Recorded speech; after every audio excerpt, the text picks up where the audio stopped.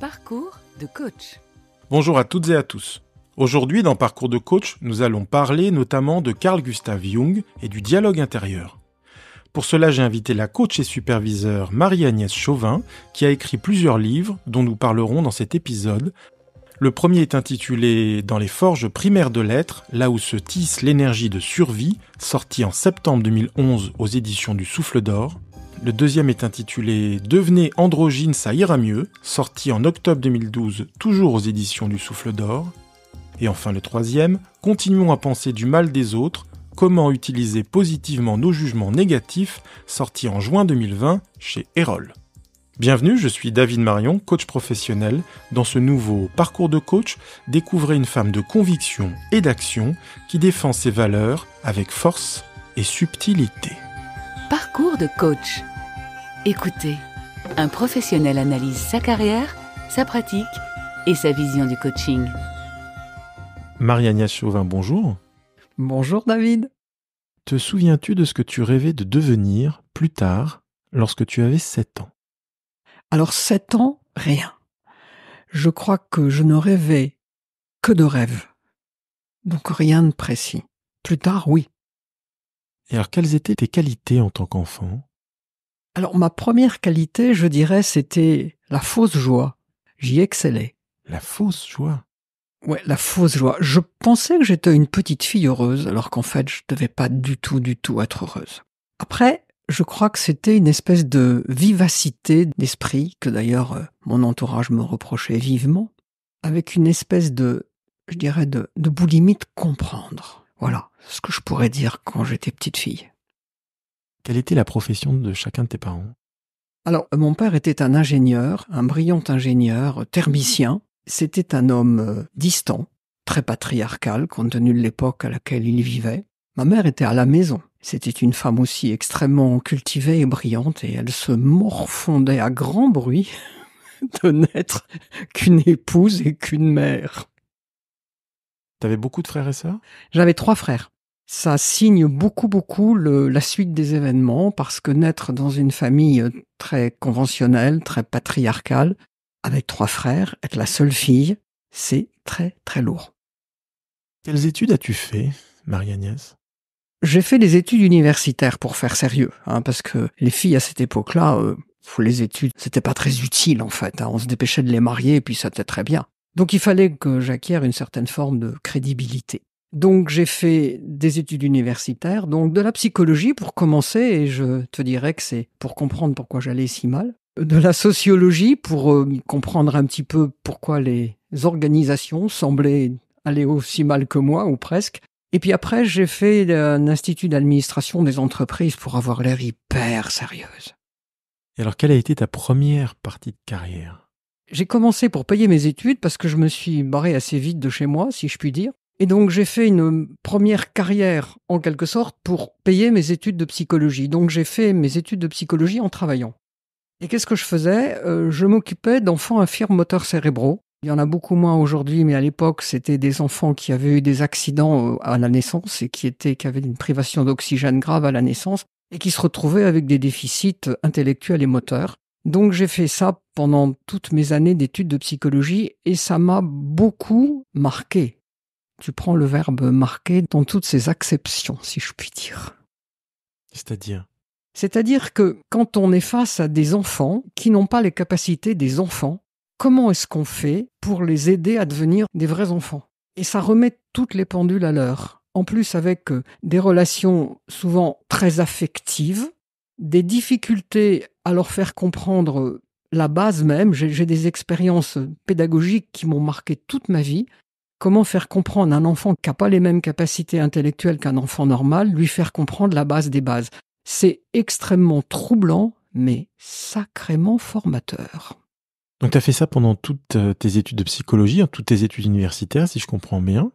Alors, toutes mes études de psychologie, alors dans la mesure où c'était à l'époque, il y avait un dispositif à Nanterre très intelligent, c'était ce qu'on appelle les étudiants travailleurs. Les autres, c'était, ils foutaient rien, c'est bien connu. Moi, j'allais à la fac en sortant de mon boulot, et on avait des cours jusqu'à 10 heures du soir. Et donc, on avait droit à avoir une année ou deux supplémentaires par rapport aux autres étudiants. Donc, j'ai fait mes cinq ans en six ou sept ans. Voilà. Puis après, j'ai embrayé sur de la sociologie, et puis après, j'ai fait la suite euh, D'ailleurs, euh, tous mes diplômes, je les ai passés avec un, un bébé sur les genoux, en quelque sorte. Donc ça, ça a été euh, toute ta partie euh, universitaire. Oui. Et est-ce que euh, tu pourrais nous, nous parler peut-être euh, d'une première partie de carrière, première partie d'expérience en entreprise? Oui, quand j'ai eu les diplômes euh, suffisamment crédibles, je suis entré dans l'entreprise. Et alors à l'époque, je me rappelle, je suis entré chez Bull. Je sais pas si tu te rappelles, c'était un constructeur informatique Français. Français, absolument le constructeur français. Je suis rentré pour faire de la formation et du recrutement. C'est-à-dire, j'ai embrayé tout de suite ce qui allait m'occuper pendant un certain nombre de décennies, si je puis dire, embrayer la partie humaine des organisations en faisant du recrutement et de la formation. Et je me suis littéralement éclaté. T'as adoré ces années? J'ai adoré ça. Pourquoi j'ai adoré ça? Parce que je suis rentré dans les années 75, quelque chose comme ça, 70, 75. Et c'était l'émergence de la population des informaticiens. Et les informaticiens, c'était pas comme les autres. Alors, ils étaient logés à part, hein, dans des bâtiments spéciaux. Ils étaient payés à part, largement plus cher que les autres. Les autres comprenaient pas pourquoi ils étaient payés autant. Ils avaient des formations trois fois plus que les autres. Bref. Et j'ai vu, tu sais, un petit peu comme Mandel avec ses petits pois là, hein, j'ai vu croître cette population c'était passionnant de voir comment ces gens qui étaient marginaux dans l'entreprise et qui avaient une espèce de savoir indispensable, comment ils s'inséraient dans les groupes. Je me suis mais vraiment passionné par l'émergence de cette population entre guillemets d'informaticiens. Oui, j'imagine que la psychosociologue euh, a pu euh, appliquer un certain nombre de réflexions par rapport à ce qui se passait. J'ai essayé. Est-ce que c'est l'essentiel de ta première partie de carrière, les, les années RH, formation, recrutement? Ma carrière professionnelle a été en entreprise, en conseil, en entreprise, en conseil. J'ai passé des étapes comme ça. Donc j'ai commencé en opérationnel, donc à faire de la, des ressources humaines. Et puis après, je me rappelle, je me suis fait chasser par une boîte de recrutement qui pensait que j'étais très doué pour bien connaître les informaticiens. Donc ils m'ont coopté pour monter la section recherche d'informaticiens. Donc là, je suis passé côté conseil. Après, je suis repassé côté entreprise dans une d'une société de services informatiques. Et là, c'était encore plus éclatant, si je puis dire. C'était une, une boîte d'intelligence. Je disais en rigolant, il y a un polytechnicien par mètre carré. Et moi, j'étais là, j'avais des yeux ébahis. C'était génial de s'occuper de ces gens-là, d'essayer de... Bon, en plus, c'est pas facile, les sociétés de services. Hein. Ils sont menés à, à grand train. Bref. Et puis, donc, j'ai commencé à faire un peu du conseil interne, des RH internes, etc. Et puis après, j'ai sauté et j'ai créé ma propre structure pour faire euh, du conseil en emploi et en soutien d'organisation des nouveaux systèmes d'information. Mes côtés humains, on pensait que je connaissais quelque chose à la technique. Je n'y connaissais rien. Par contre, je comprenais très très bien le discours des techniciens, des ingénieurs et des high-tech, comme on dit. Et alors, comment tu t'es euh, formé au coaching, si je puis dire? À quel moment tu as pu assurer euh, ta reconversion vers l'accompagnement? Alors effectivement, c'est dans ma boîte de conseils que j'avais créée à l'époque. Je commençais à faire de plus en plus de conseils. Il y a des choses que j'ai complètement gardées, euh, c'est la formation. Et puis, il y a quelque chose qui me titillait parce que malgré tout, quand, quand on est psychologue de formation, il y a quelque chose qui remontait. Donc je voulais me rapprocher vraiment de la relation individuelle. Et je me suis dit, la meilleure façon, c'est d'ouvrir sur le coaching. Et comme je veux faire les choses sérieusement, j'ai été faire une école de coaching. Comment as-tu choisi cette école? Bonne question. Ou si je sais, je vais te dire pourquoi j'ai choisi cette, cette école. J'ai eu la chance, le hasard, d'assister à une euh, démonstration, le mot est juste, d'une méthode que tu connais sans doute qui s'appelle le dialogue intérieur. Il y a un épisode avec Isabelle Demeure. Voilà. Et alors, la démonstration était faite par Geneviève Caillou, qui dirigeait à l'époque une école de coaching autour du dialogue intérieur. Et quand j'ai vu ça, j'ai dit, mais voilà, c'est le chaînon manquant. Parce que ce que je peux t'expliquer aussi, c'est qu'à titre personnel, j'ai fait ma première thérapie, j'avais 25 ans, et depuis, je crois que j'ai pas arrêté. Et j'ai testé toutes les structures de développement personnel. Alors, soit on avait la psychanalyse assez intellectuelle, soit on avait des trucs très corporels, mais on n'avait pas vraiment les deux en même temps. Et quand j'ai vu cette démonstration de dialogue intérieur, j'ai dit, mais c'est ça le chaînon manquant. C'est à la fois corporel et cérébral. Du coup, comme ces gens-là faisaient une formation très officielle de coaching, je me suis jeté là-dedans. T'as pas nommé l'école, mais en l'occurrence, c'est Osiris. C'est Osiris, absolument. Osiris Conseil. C'était donc une école qui a été créée par euh, euh, Pierre Covin et Geneviève Caillou. Un couple de formateurs. Un couple de formateurs, absolument. Avant de parler de cette formation euh, spécifiquement, quelles sont les expériences euh, de l'époque où tu étais soit en entreprise, soit en conseil, qui constituaient quelque part le germe de ton métier d'accompagnement qui s'est euh, profilé par la suite? Est-ce que tu arrives à identifier les expériences d'alors qui permettaient de présager que tirer du côté de l'accompagnement plus tard? Oui, parce que la chance que j'ai eue de travailler avec une population émergente comment cette population émergente, dans sa différence, peut s'inscrire dans un collectif de production et que les rapports soient harmonieux. De voir un espèce de d'ensemble d'une structure qui doit fonctionner avec des différences internes et qui a beaucoup de difficultés à fonctionner avec ces différences internes parce qu'évidemment, euh, les non-informaticiens jalousaient les informaticiens, les informaticiens prenaient les autres pour des demeurés. Et je crois que c'est cette espèce d'expérience de comment faire en sorte d'accompagner les groupes humains et les humains à intégrer cette différence pour être plus performants dans l'entreprise et, mieux dans leur basket individuellement. Donc j'entends à la fois la capacité à avoir un regard méta sur ce qui se passait, oui. et la capacité aussi à favoriser euh, le lien. Complètement. Les, interactions. Complètement. Favoriser les interactions, favoriser le lien pour le bien-être à la fois collectif et individuel.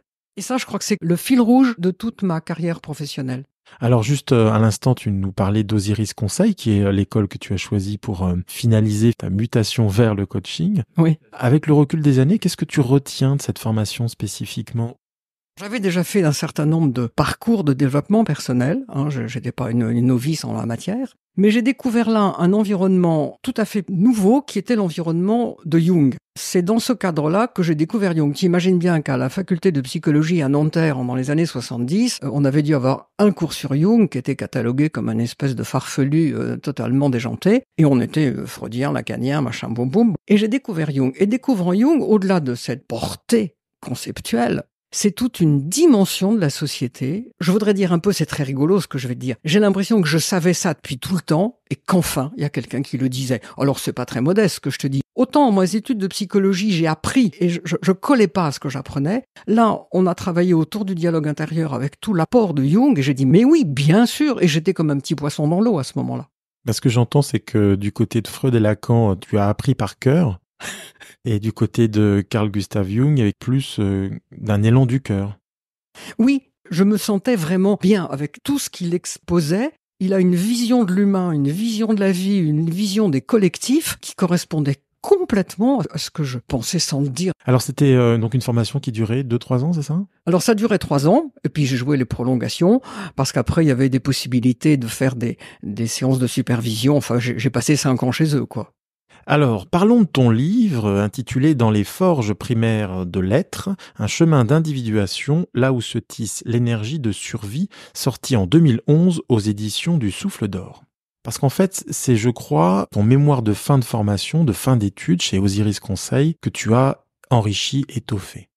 Comme dans tout ce type de formation, il y a un mémoire à faire pour avoir le diplôme, hein, qui est un diplôme en chocolat, mais c'est un diplôme quand même. Et donc l'objectif, c'était comment est-ce que ce qu'on a appris autour des concepts de Jung et du dialogue intérieur s'illustre dans notre propre parcours personnel et professionnel, surtout personnel? Donc euh, je me suis euh, attelé au travail. Alors ce qu'on avait aussi beaucoup travaillé, c'est la typologie jungienne, etc. Enfin toute la dynamique des fonctions, des choses tout à fait passionnantes. Et donc bah moi, comme une comme une brave grande fille bonne élève, je me suis attelé à faire un mémoire. Et puis euh, Geneviève et Pierre, quand euh, ils ont donné les résultats en quelque sorte, ils m'ont pris à part en disant écoute, c'est vachement bien ton truc là. si tu l'étoffes un peu, on va le présenter à notre éditeur. J'ai étoffé le travail, et donc, euh, ils l'ont présenté au Souffle d'Or et ça a été effectivement édité en 2011. Qu'est-ce que tu pourrais nous en dire, en fait, de ce livre? Tu m'as expliqué qu'en fait, à travers ce livre, tu avais fait un comparatif entre des concepts clés de Carl Gustav Jung et du dialogue intérieur, et ton propre vécu, ton propre chemin de vie, pour le mettre finalement en, scène, le mettre, mettre en lumière euh, les éléments d'apprentissage. Quels sont les éléments saillants, les éléments clés que tu aimerais euh, partager? Alors, les éléments clés, c'est avoir un regard suffisamment lucide pour comprendre comment on sait, je dirais un peu brutalement, sauver la peau. Le concept numéro un de Jung, c'est de dire que la vie, elle est bipolaire, elle est duelle. Et pour s'adapter, on choisit préférentiellement un côté du trottoir et pas l'autre. Et qu'effectivement, un enfant ne peut pas en même temps pleurer et rire. C'est assez basique de dire ça. On choisit des types de comportements pour s'adapter. Et donc, ce mémoire, c'est dire quel type de comportement j'ai choisi moi pour m'adapter. Comment je me suis sauvé, en quelque sorte, des situations un petit peu complexes, mais qui sont valables pour tous les humains. Qu'est-ce que j'ai mis en avant dans mes comportements pour me sortir du pétrin dans lequel j'étais? Faisant ça, je deviens experte en un certain nombre de comportements. Encore une fois, comme la vie est duelle, je mets dans l'ombre, ça c'est complètement jungien, des comportements que j'ai pas utilisés. Ou pas pu utiliser. Ou pas pu utiliser, effectivement. Donc, tout le mémoire, c'est d'avoir la lucidité de dire comment je me suis construite, et dans les forges primaires de l'être, c'est vraiment quel est le sursaut de vie qui nous fait nous comporter comme ça, parce qu'on n'a qu'un objectif, c'est de survivre. Il faut survivre à tout prix. Qu'est-ce que j'ai fait moi pour survivre? Qu'est-ce que j'ai mis de côté? Qu'est-ce qu'après une forme de maturité me permet d'aller chercher ce que j'ai mis de côté et de l'équilibrer avec les ressources bien évidemment hyper extraordinaires que j'ai mis devant, mais que si elles sont toutes seules devant, elles finissent par me poser des soucis parce qu'elles deviennent un peu potentats, tyranniques. Est-ce que tu pourrais peut-être euh, lever un peu le voile sur euh, un des comportements que tu as mis en place pour euh, réagir face à l'environnement familial ou l'écosystème plus large d'ailleurs alors je vais te raconter une histoire drôle. C'était une séance de, dialogue intérieur. Et tu sais, en dialogue intérieur, on donne la parole à des parties de soi. Dans cette séance-là, je, donnais la parole à une partie de moi, qui était donc un petit peu la suite de la petite fille, hein, celle qui fait semblant d'être heureuse, euh, Yukaidi Aida, mais c'est le bonheur, c'est la vie, je suis une gentille épouse, je suis une gentille sœur, je suis une gentille tante, je suis une merveilleuse collaboratrice, je suis un manager extraordinaire. Ça, c'est une sorte de façade. Hein c'est la façade, c'est ce que Jung appelle la persona. Et alors, dans cette fameuse séance, la partie en question regarde la facilitatrice de dialogue intérieur et lui dit en rigolant, eh ben, tu vois ce que c'est ça. Ça s'appelle la sécurité sociale. Évidemment, la facilitatrice a éclaté de rire. C'est-à-dire que cette partie de moi qui voulait se conformer de manière exemplaire à ce qu'on attendait de moi, elle s'est appelée la sécurité sociale. C'est-à-dire que pour être sécure dans mon environnement personnel, familial, professionnel, je jouais la parfaite. Et eh ben, ça, c'est d'abord très fatigant et puis j'allais dire pour les autres, ça devient vite très chiant. Ça, c'était l'assurance tranquillité, quoi.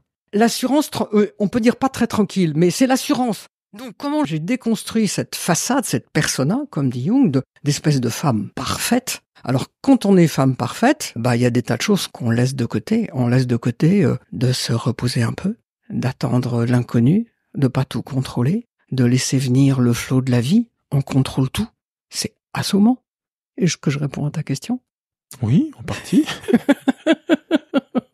ce que je trouve intéressant aussi, c'est de prendre conscience que, euh, quel que soit ce qui a été mis en place par le petit garçon ou la petite fille pour faire face à son environnement, ça n'est qu'une réaction logique par rapport justement à l'écosystème et ce qui s'y passait. Absolument. Et c'est ça qui est intéressant parce que si tu veux, en coaching notamment, c'est très intéressant que la personne soit lucide et remonte à ses qualités premières. C'est-à-dire quels que soient les comportements que la personne a mis en place au début de son existence ou même au début de sa vie professionnelle, c'est une ressource fabuleuse. Donc déjà, on dit, là, on a vraiment un pilier sur lequel on peut se poser. Et en coaching, c'est très important de renvoyer tout de suite les gens à leur puissance et à leur force. Donc le pilier, il est là. Après, le deuxième travail, c'est de dire, le béton, il est peut-être un peu costaud, il est peut-être un peu trop armé, ça serait peut-être intéressant d'aller trouver autre chose. Mais c'est vraiment une dynamique en coaching qui, à mon avis, tout à fait importante, c'est de renvoyer d'abord la personne à ses pouvoirs.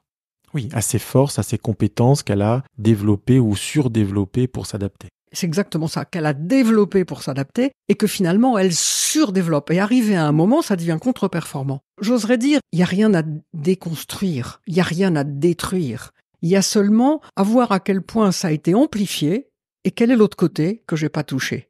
Pas encore. Pas encore. Il n'y a rien à jeter, comme chantait Brassens sur l'île déserte, il faut tout emporter. Et donc l'idée dans l'accompagnement, ça pourrait être euh, effectivement d'inviter euh, le client à développer des comportements qui sont restés de côté.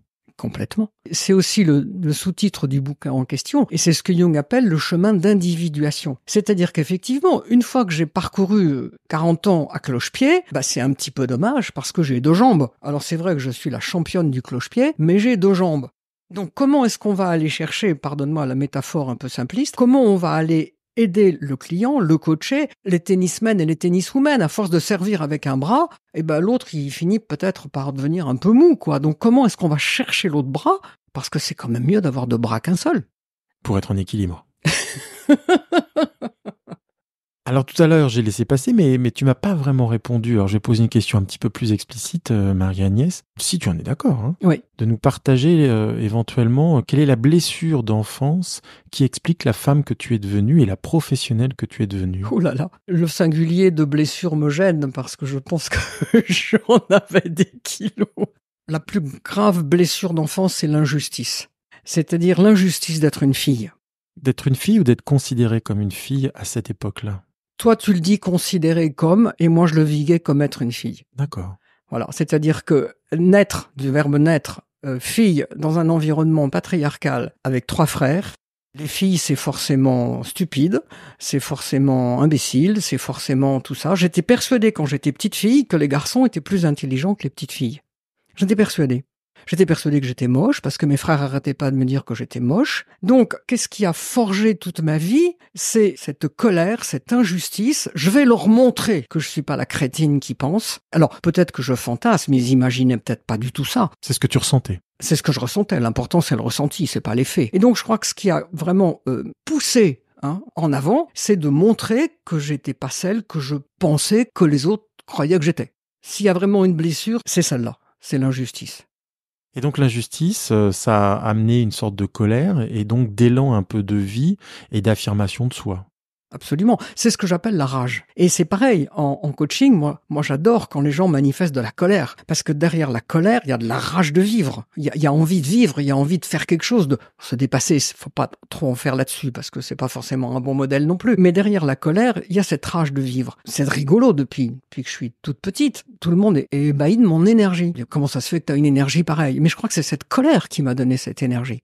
Est-ce que tu crois que ça explique ta personnalité assez, euh, comment dire, j'ai envie de dire amazone, guerrière? Mais évidemment, quand tu vis avec trois frères, qui n'étaient pas forcément faciles avec moi, tu comprends que pour s'en sortir, il faut utiliser les armes du combat. C'est pas possible autrement. On peut pas se faire reconnaître dans une famille qui prône le masculin euh, combatif en étant euh, une espèce de bon bref. Donc j'ai bien évidemment j'ai joué les Amazones. Hein. Pas eu le choix. J'avais pas le choix. D'ailleurs ça m'a rudement réussi. Hein. Je regrette rien. Ça t'a rudement réussi, c'est-à-dire? Ça m'a réussi. leur- mes frères, ils sont rigolos. Ils me disent, mais finalement, euh, c'est toi le mec de la famille. Et t'as bien mieux réussi que nous. Concrètement, j'ai mieux réussi que mes frères. C'est pour ça que je dis que ça m'a, ça m'a réussi parce que du coup, j'ai osé affronter des choses. Je suis assez contente de ma carrière professionnelle. Ça te donne une sorte de niaque? Ça m'a collé une niaque incroyable. Tu vois, je voulais pas me laisser euh, enfermer dans un statut social de suiveuse, de fille. Ok, je te propose en fait euh, de faire un, premier intermède à notre entretien et d'écouter ce que tu as choisi euh, en guise euh, de première pause.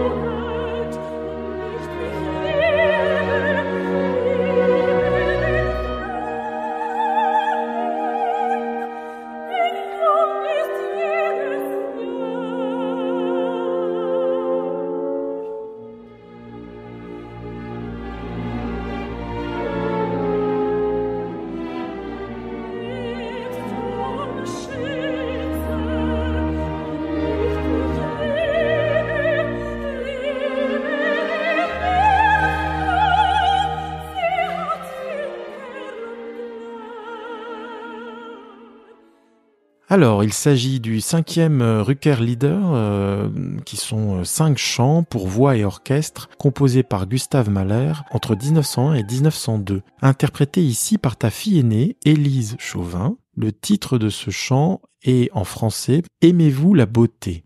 Pourquoi ce choix, Marie-Agnès?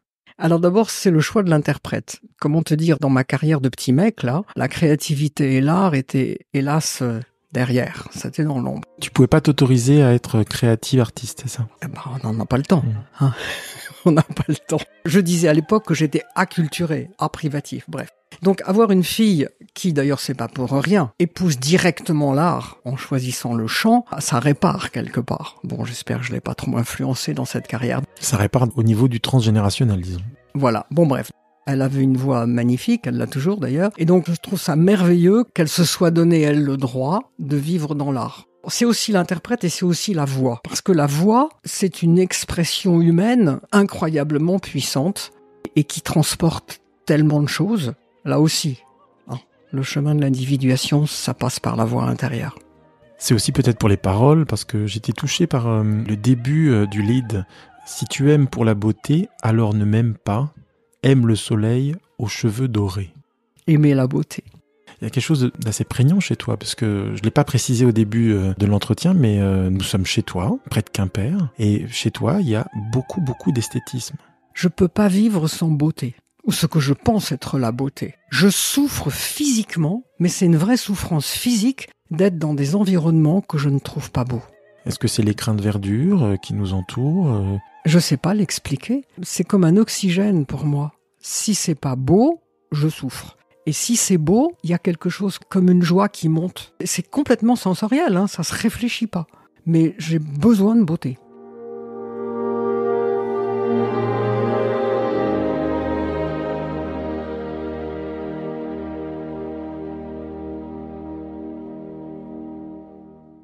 Je te propose euh, de poursuivre l'entretien avec un focus euh, sur euh, un second livre intitulé Continuons à penser du mal des autres ou Comment utiliser positivement nos jugements intérieurs, édité par Erol et sorti en mars 2020. Alors pourquoi avoir écrit ce livre, Marie-Agnès?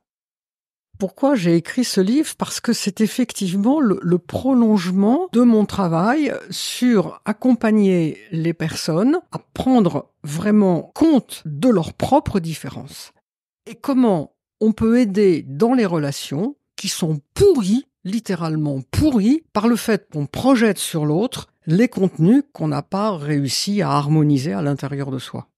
Pour moi, ce livre, c'est vraiment une espèce d'envie d'apporter ma petite graine à l'ouverture de conscience, à la fois individuelle et collective. Alors, pour l'avoir lu euh, attentivement, je trouve que c'est aussi euh, un guide de déculpabilisation de tous les jugements, de toutes les projections que je peux faire sur les autres. Et je suis très très doué à faire ça.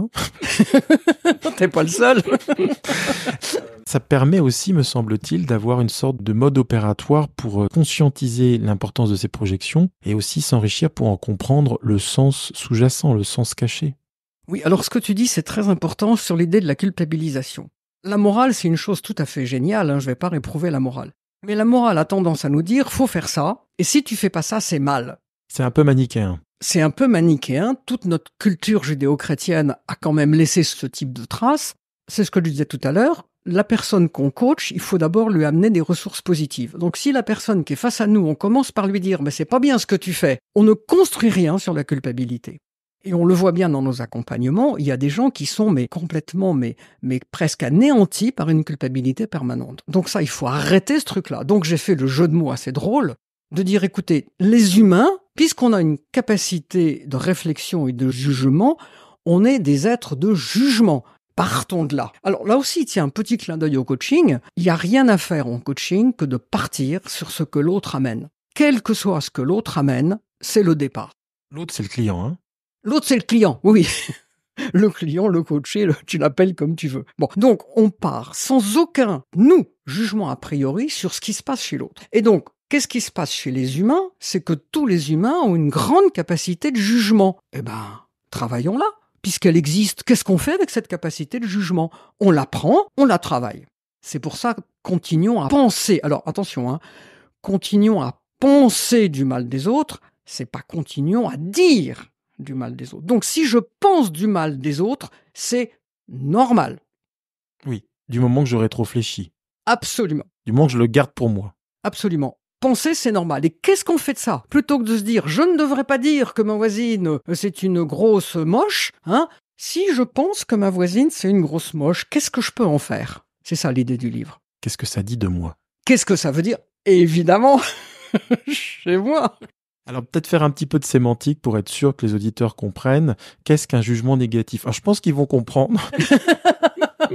mais tes auditeurs sont assez futés. Hein. mais dans le doute, dans le doute, je te propose d'expliciter. Donc tu l'as dit à l'instant, c'est avoir effectivement une perception négative de son voisin, de sa voisine ou d'un parent, d'un proche. Hein.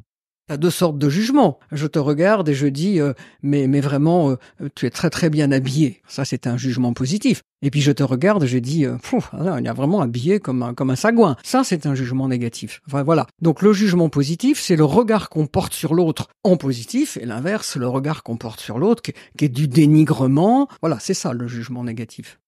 Alors c'est très intéressant d'avoir pris cet exemple avec les deux opposés parce que ça met en exergue quand même la subjectivité de cette perception. Pas complètement voire l'arbitraire. Hein. Complètement. Le pull que tu portes, d'aucuns le trouveront merveilleux et qui te va très bien, d'autres personnes diront qu'il est très très moche et qui te va très mal. C'est ça qui est intéressant. C'est le même pull et le même homme qui est dedans. Et alors du coup, la question qui suit, ah, évidemment c'est candide hein, mon questionnement parce que je ne veux pas te raconter le livre, c'est toi qui l'as écrit, ça serait quand même un peu tordu. En quoi un jugement négatif peut-il constituer un trésor pour celui qui en est l'auteur? Je vais quand même t'expliquer hein, ce que tu sais par cœur. Alors attention, nuançons. Le jugement immédiat. Si effectivement euh, j'ai passé six mois avec une personne dans l'entreprise et qu'il s'avère que cette personne elle répond pas à ce qu'on lui a demandé de faire, je finis par juger cette personne incompétente. Mais là, c'est corroboré sur des faits multiples, etc., étayés par différentes situations. C'est étayé, il y a, y, a, Bon, bref, ça, il s'agit pas du tout de ce jugement-là. Il s'agit du jugement immédiat de quelqu'un qu'en général je connais pas ou je connais mal, et sur lequel je projette immédiatement quelque chose de négatif. Il s'agit de ce jugement-là. Et alors, ce jugement-là, si effectivement il me sort comme un boulet de canon dans ma tête, sans que je connaisse forcément la personne, ça a effectivement plus de lien avec moi qu'avec lui. Pourquoi moi je trouve qu'il est moche et l'autre trouve qu'il est magnifique? Le gars il y est pour rien. Donc ça vient bien de moi. Donc le trésor c'est qu'est-ce que je fais de mes propres jugements négatifs? Il est là le trésor parce que ça parle de moi. Et qu'est-ce que ça dit de moi? Elle est là l'astuce. Ça dit de moi quelque chose que j'ai pris chez moi et que j'ai diabolisé chez l'autre.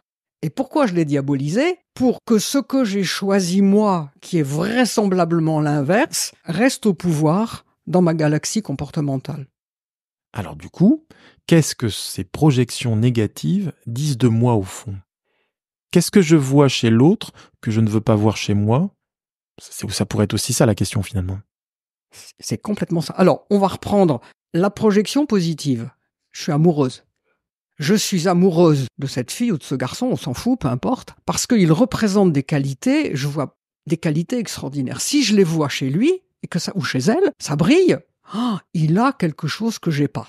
Donc, comment on travaille le jugement positif, mais finalement, est-ce que moi j'aurais pas aussi un peu de ces qualités-là que je n'ose pas reconnaître chez moi, que je vois briller chez l'autre, alors que je l'ai chez moi? Qu'est-ce que cet homme est beau, mais qu'est-ce que cette femme est belle? Oh! Parce que tu crois que t'es moche, toi? Eh ben, finalement, je serais peut-être belle aussi et j'oserais pas me l'avouer. Qu'est-ce que cet homme est intelligent? Qu'est-ce que cette femme est intelligente? Ah bon? Parce que peut-être que moi je serais stupide? Positif. Donc ça, ça dit en sous-jacent que je ne suis capable de voir des qualités chez l'autre que si et seulement si j'ai les mêmes, même de manière embryonnaire, chez moi. Absolument. De manière embryonnaire ou complètement reniée.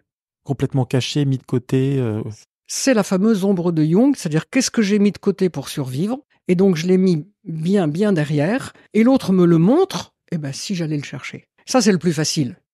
Donc ça voudrait dire, quand tu es capable de reconnaître une grande qualité artistique chez ta fille, que probablement tu as une dimension artistique que tu n'as pas pu développer. Euh. Mais c'est totalement évident. C'est-à-dire que j'ai étouffé l'artiste en moi. Pour me sortir du pétrin, encore une fois, j'ai totalement étouffé mon artiste. Et qu'est-ce qui fait l'artiste? Ben, Il se venge C'est évident, tu as parfaitement raison, j'ai étouffé l'artiste en moi. Alors bon, en écrivant un peu, ça m'a ça me fait du bien. Exactement.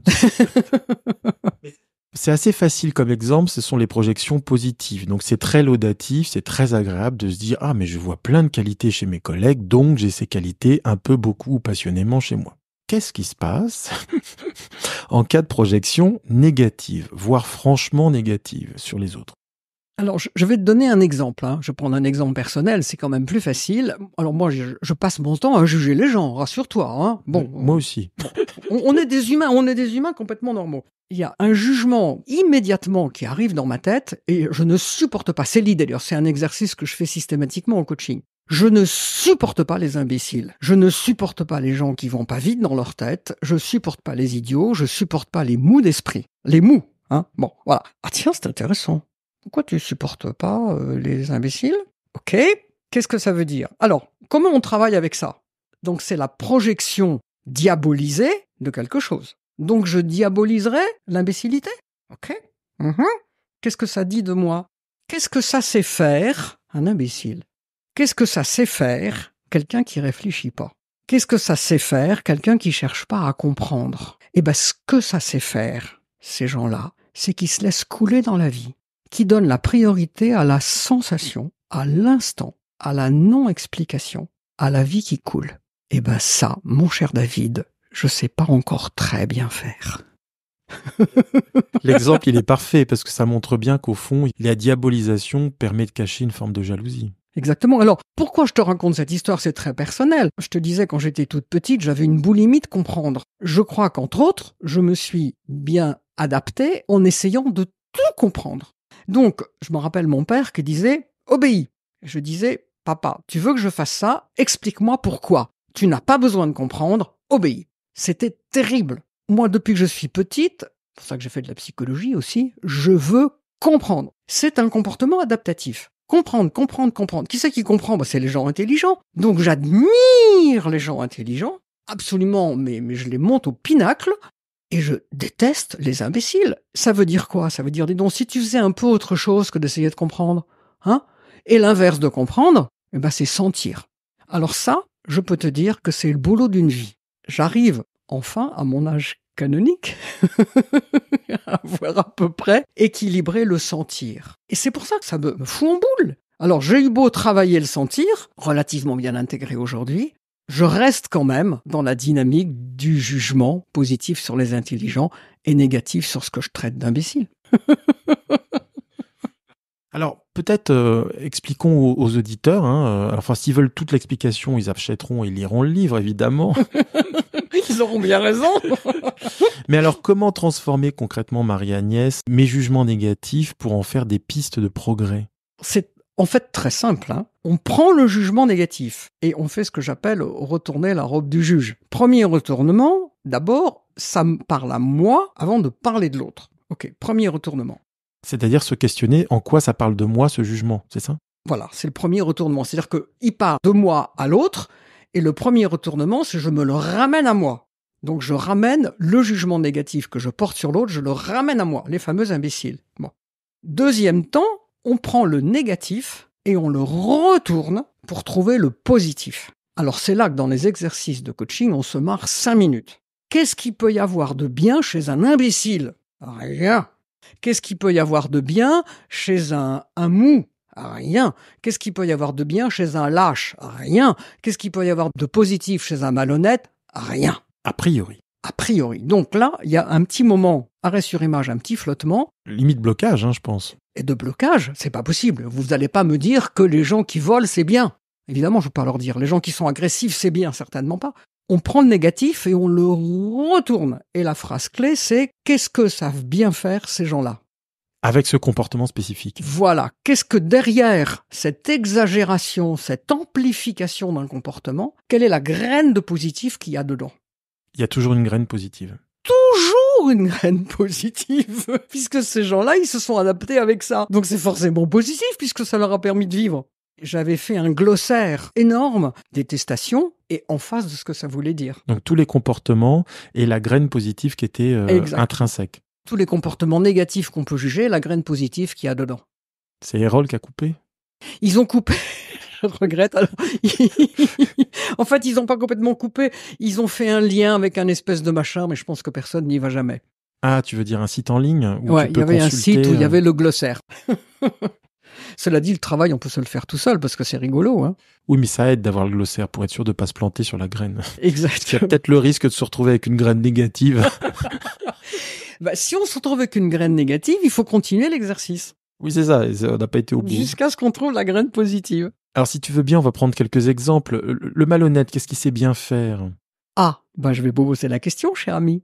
Qu'est-ce que ça sait bien faire un malhonnête, à votre avis? Profiter de la situation. Parfaitement. Profiter de la situation. Pragmatique. Exactement. Donc, quand tu dis malhonnête, c'est négatif. Quand tu dis profiter de la situation, c'est positif. Le menteur. Ah, le menteur. s'arrange avec la réalité? Il se défend, il se protège. C'est-à-dire exactement, il arrange la vérité pour se protéger. Un menteur, c'est quelqu'un qui a peur. On ne ment pas quand on n'a pas peur. Quand on a peur, on ment. Donc ça veut dire que c'est quelqu'un, et ça nous arrive tous les jours, quelqu'un qui se sent en vulnérabilité et qui modifie la réalité pour ne pas être encore plus atteint par les autres. Donc c'est assez positif, hein Je me protège.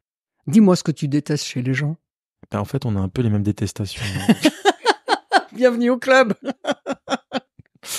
Non, mais oui, les truffes, moi, les, les gens qui semblent pas euh, du tout dans la réflexivité, qui semblent vraiment euh, brutes de décoffrage, ça me fatigue un peu. Par exemple, on dirait la lâcheté. La lâcheté. Ah ben ils savent bien se protéger puisque ils vont fuir tous les dangers. Absolument, ils vont bien se protéger. Sur le haut des barricades, ils vont pas arriver en ouvrant les bras. Hein ils sont un peu malins, ils vont pas y aller. Enfin, en, en temps de guerre, c'est un peu embêtant à l'âge quand même. On est dans un autre cas. Hein. on est dans un autre cas, Dans bien cas évidemment. Il s'agit pas de faire l'apologie des lâches, Non, non, bien sûr, mais je faisais un pied de nez. Mais en effet, en effet. mais même en temps de guerre, si tu veux. Quels sont les risques intelligents, d'ailleurs on l'a vu, des espèces de, de combattants à la tête d'un d'un bataillon qui emmènent tout le bataillon à la mort parce qu'ils font leur, euh, leur espèce de cacou.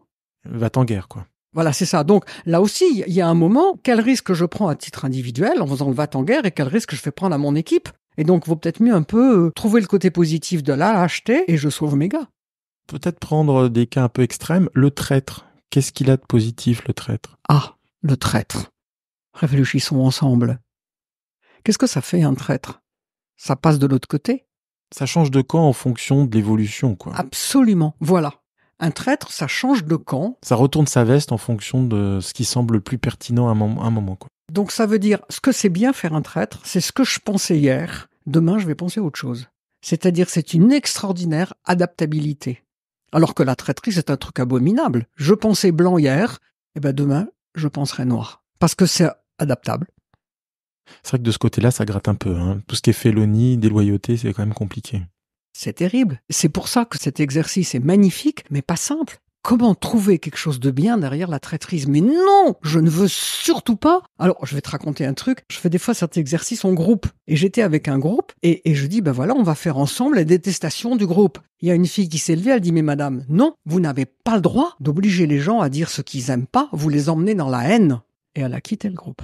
Elle, elle avait l'amour, l'amour, l'amour, l'amour, l'amour en flash. Mais c'est magnifique d'avoir que l'amour en flash. Mais ça veut dire que c'est absolument pas lucide de la réalité de ce que vivent les humains. Oui, alors en l'occurrence, elle était aussi dans une sorte d'intransigeance. Bah complètement. Alors elle, elle avait mis effectivement en frontal sa persona, c'était j'aime tout le monde. Ah bon, elle va y croire longtemps à ça? Donc ça, c'est le deuxième processus de retournement. hein. Ouais. Donc il y a d'abord le retournement de ce que tu appelles la robe du juge, donc c'est le jugement lui-même, qu'est-ce que ça dit de moi? Oui. Et ensuite le retournement de qu'est-ce qui est positif au fond dans ce que je déteste le plus? Absolument. On peut imaginer que sous la robe du juge, eh ben, la doublure, elle a des petites fleurs de couleur. Et c'est chouette. Et alors la troisième euh, manière de, travailler, de triturer finalement cette détestation, quelle est-elle? Là, il y a un exercice très intéressant que je fais systématiquement en coaching, que j'appelle le chemin de développement. On va reprendre notre exemple, puisqu'on partage la même chose. Hein. Je dis à la personne en face, vous me dites ce que vous détestez le plus. Donc la personne va dire, je déteste les gens qui sont idiots.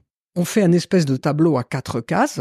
En haut à gauche, les détestations, je déteste les imbéciles. Ok. Donc si vous détestez les imbéciles, ça veut dire que votre système de valeurs ou la façon dont vous voulez vous comporter vous, c'est l'inverse. Ok, si je déteste les imbéciles, moi ma valeur c'est l'intelligence. Et j'essaye effectivement de me montrer intelligente, de réfléchir, de... très bien. Donc on a à gauche la détestation, à droite le modèle, et là arrêt sur image. Quand ils ont fait ça sur 6 ou 7 adjectifs, je leur dis bravo. À droite il y a votre système de valeurs. L'intelligence, la loyauté, le courage, le dynamisme, enfin rien à dire, c'est magnifique. Maintenant, on va faire un exercice complémentaire. C'est-à-dire que votre inconscient, il a envie que vous soyez en permanence intelligent, loyal, courageux, etc., etc. Et pour que vous soyez ça, qu'est-ce qui fait le bougre? Il vous fait intensifier la machine. Alors, on fait faire en dessous la case à droite du modèle, De l'idéal, ouais. De l'idéal, on fait faire son excès. Et là aussi, je t'assure qu'en coaching, il y a arrêt sur image. hein. Quelqu'un qui voudrait tout le temps, tout le temps, tout le temps être intelligent, il pourrait passer pour quoi Auprès, par exemple, de ses collaborateurs? Arrogant, prétentieux peut-être? Parfait, arrogant. On fait ça à chaque fois. Et là, Non, je veux seulement être intelligent et on peut me voir comme arrogant. Je veux seulement être loyal, on peut me voir comme jugeant en permanence ce qui s'écarte de la loi. On peut me voir comme courageux et on me voit comme va en guerre. Alors là, les managers, ils sont mais scotchés. Moi, je veux seulement être ça et je peux être perçu comme ça. C'est pas possible, ok? On retourne à la case de gauche et on retourne la fameuse détestation. Donc, on va retrouver l'intelligent et on va mettre, par exemple, sentir. Par exemple, le positif derrière l'imbécile, c'est celui qui, qui lâche prise, qui, alors ça, c'est les mots de la personne qui sont importants, c'est pas les mots que nous on donne. Donc, on dit, par exemple, qu'est-ce que tu préférerais? Le positif de l'imbécile, c'est quoi? Bah, il peut être très spontané, par exemple. spontané. La spontanéité, merveilleux. Après, on fait ça pour tout. Et donc, on se dit, voilà, j'ai deux alternatives. Où je suis dans la dualité extrême. Pour ne pas passer pour un imbécile, je passe pour un intransigeant. Ou je suis un imbécile, ou je suis un arrogant. J'ai envie de choisir ni l'un ni l'autre. Par contre, si je prends l'autre diagonale, c'est pas forcément facile à faire à l'oral, hein, on peut l'imaginer. L'autre diagonale, ça veut dire quoi? Ça veut dire que non seulement j'ai le droit d'être intelligent, et en même temps de me laisser aller à sentir. Ou à être spontané. Ou à être spontané, merci. Donc cette diagonale-là, c'est la diagonale du et, et c'est la diagonale du chemin de développement.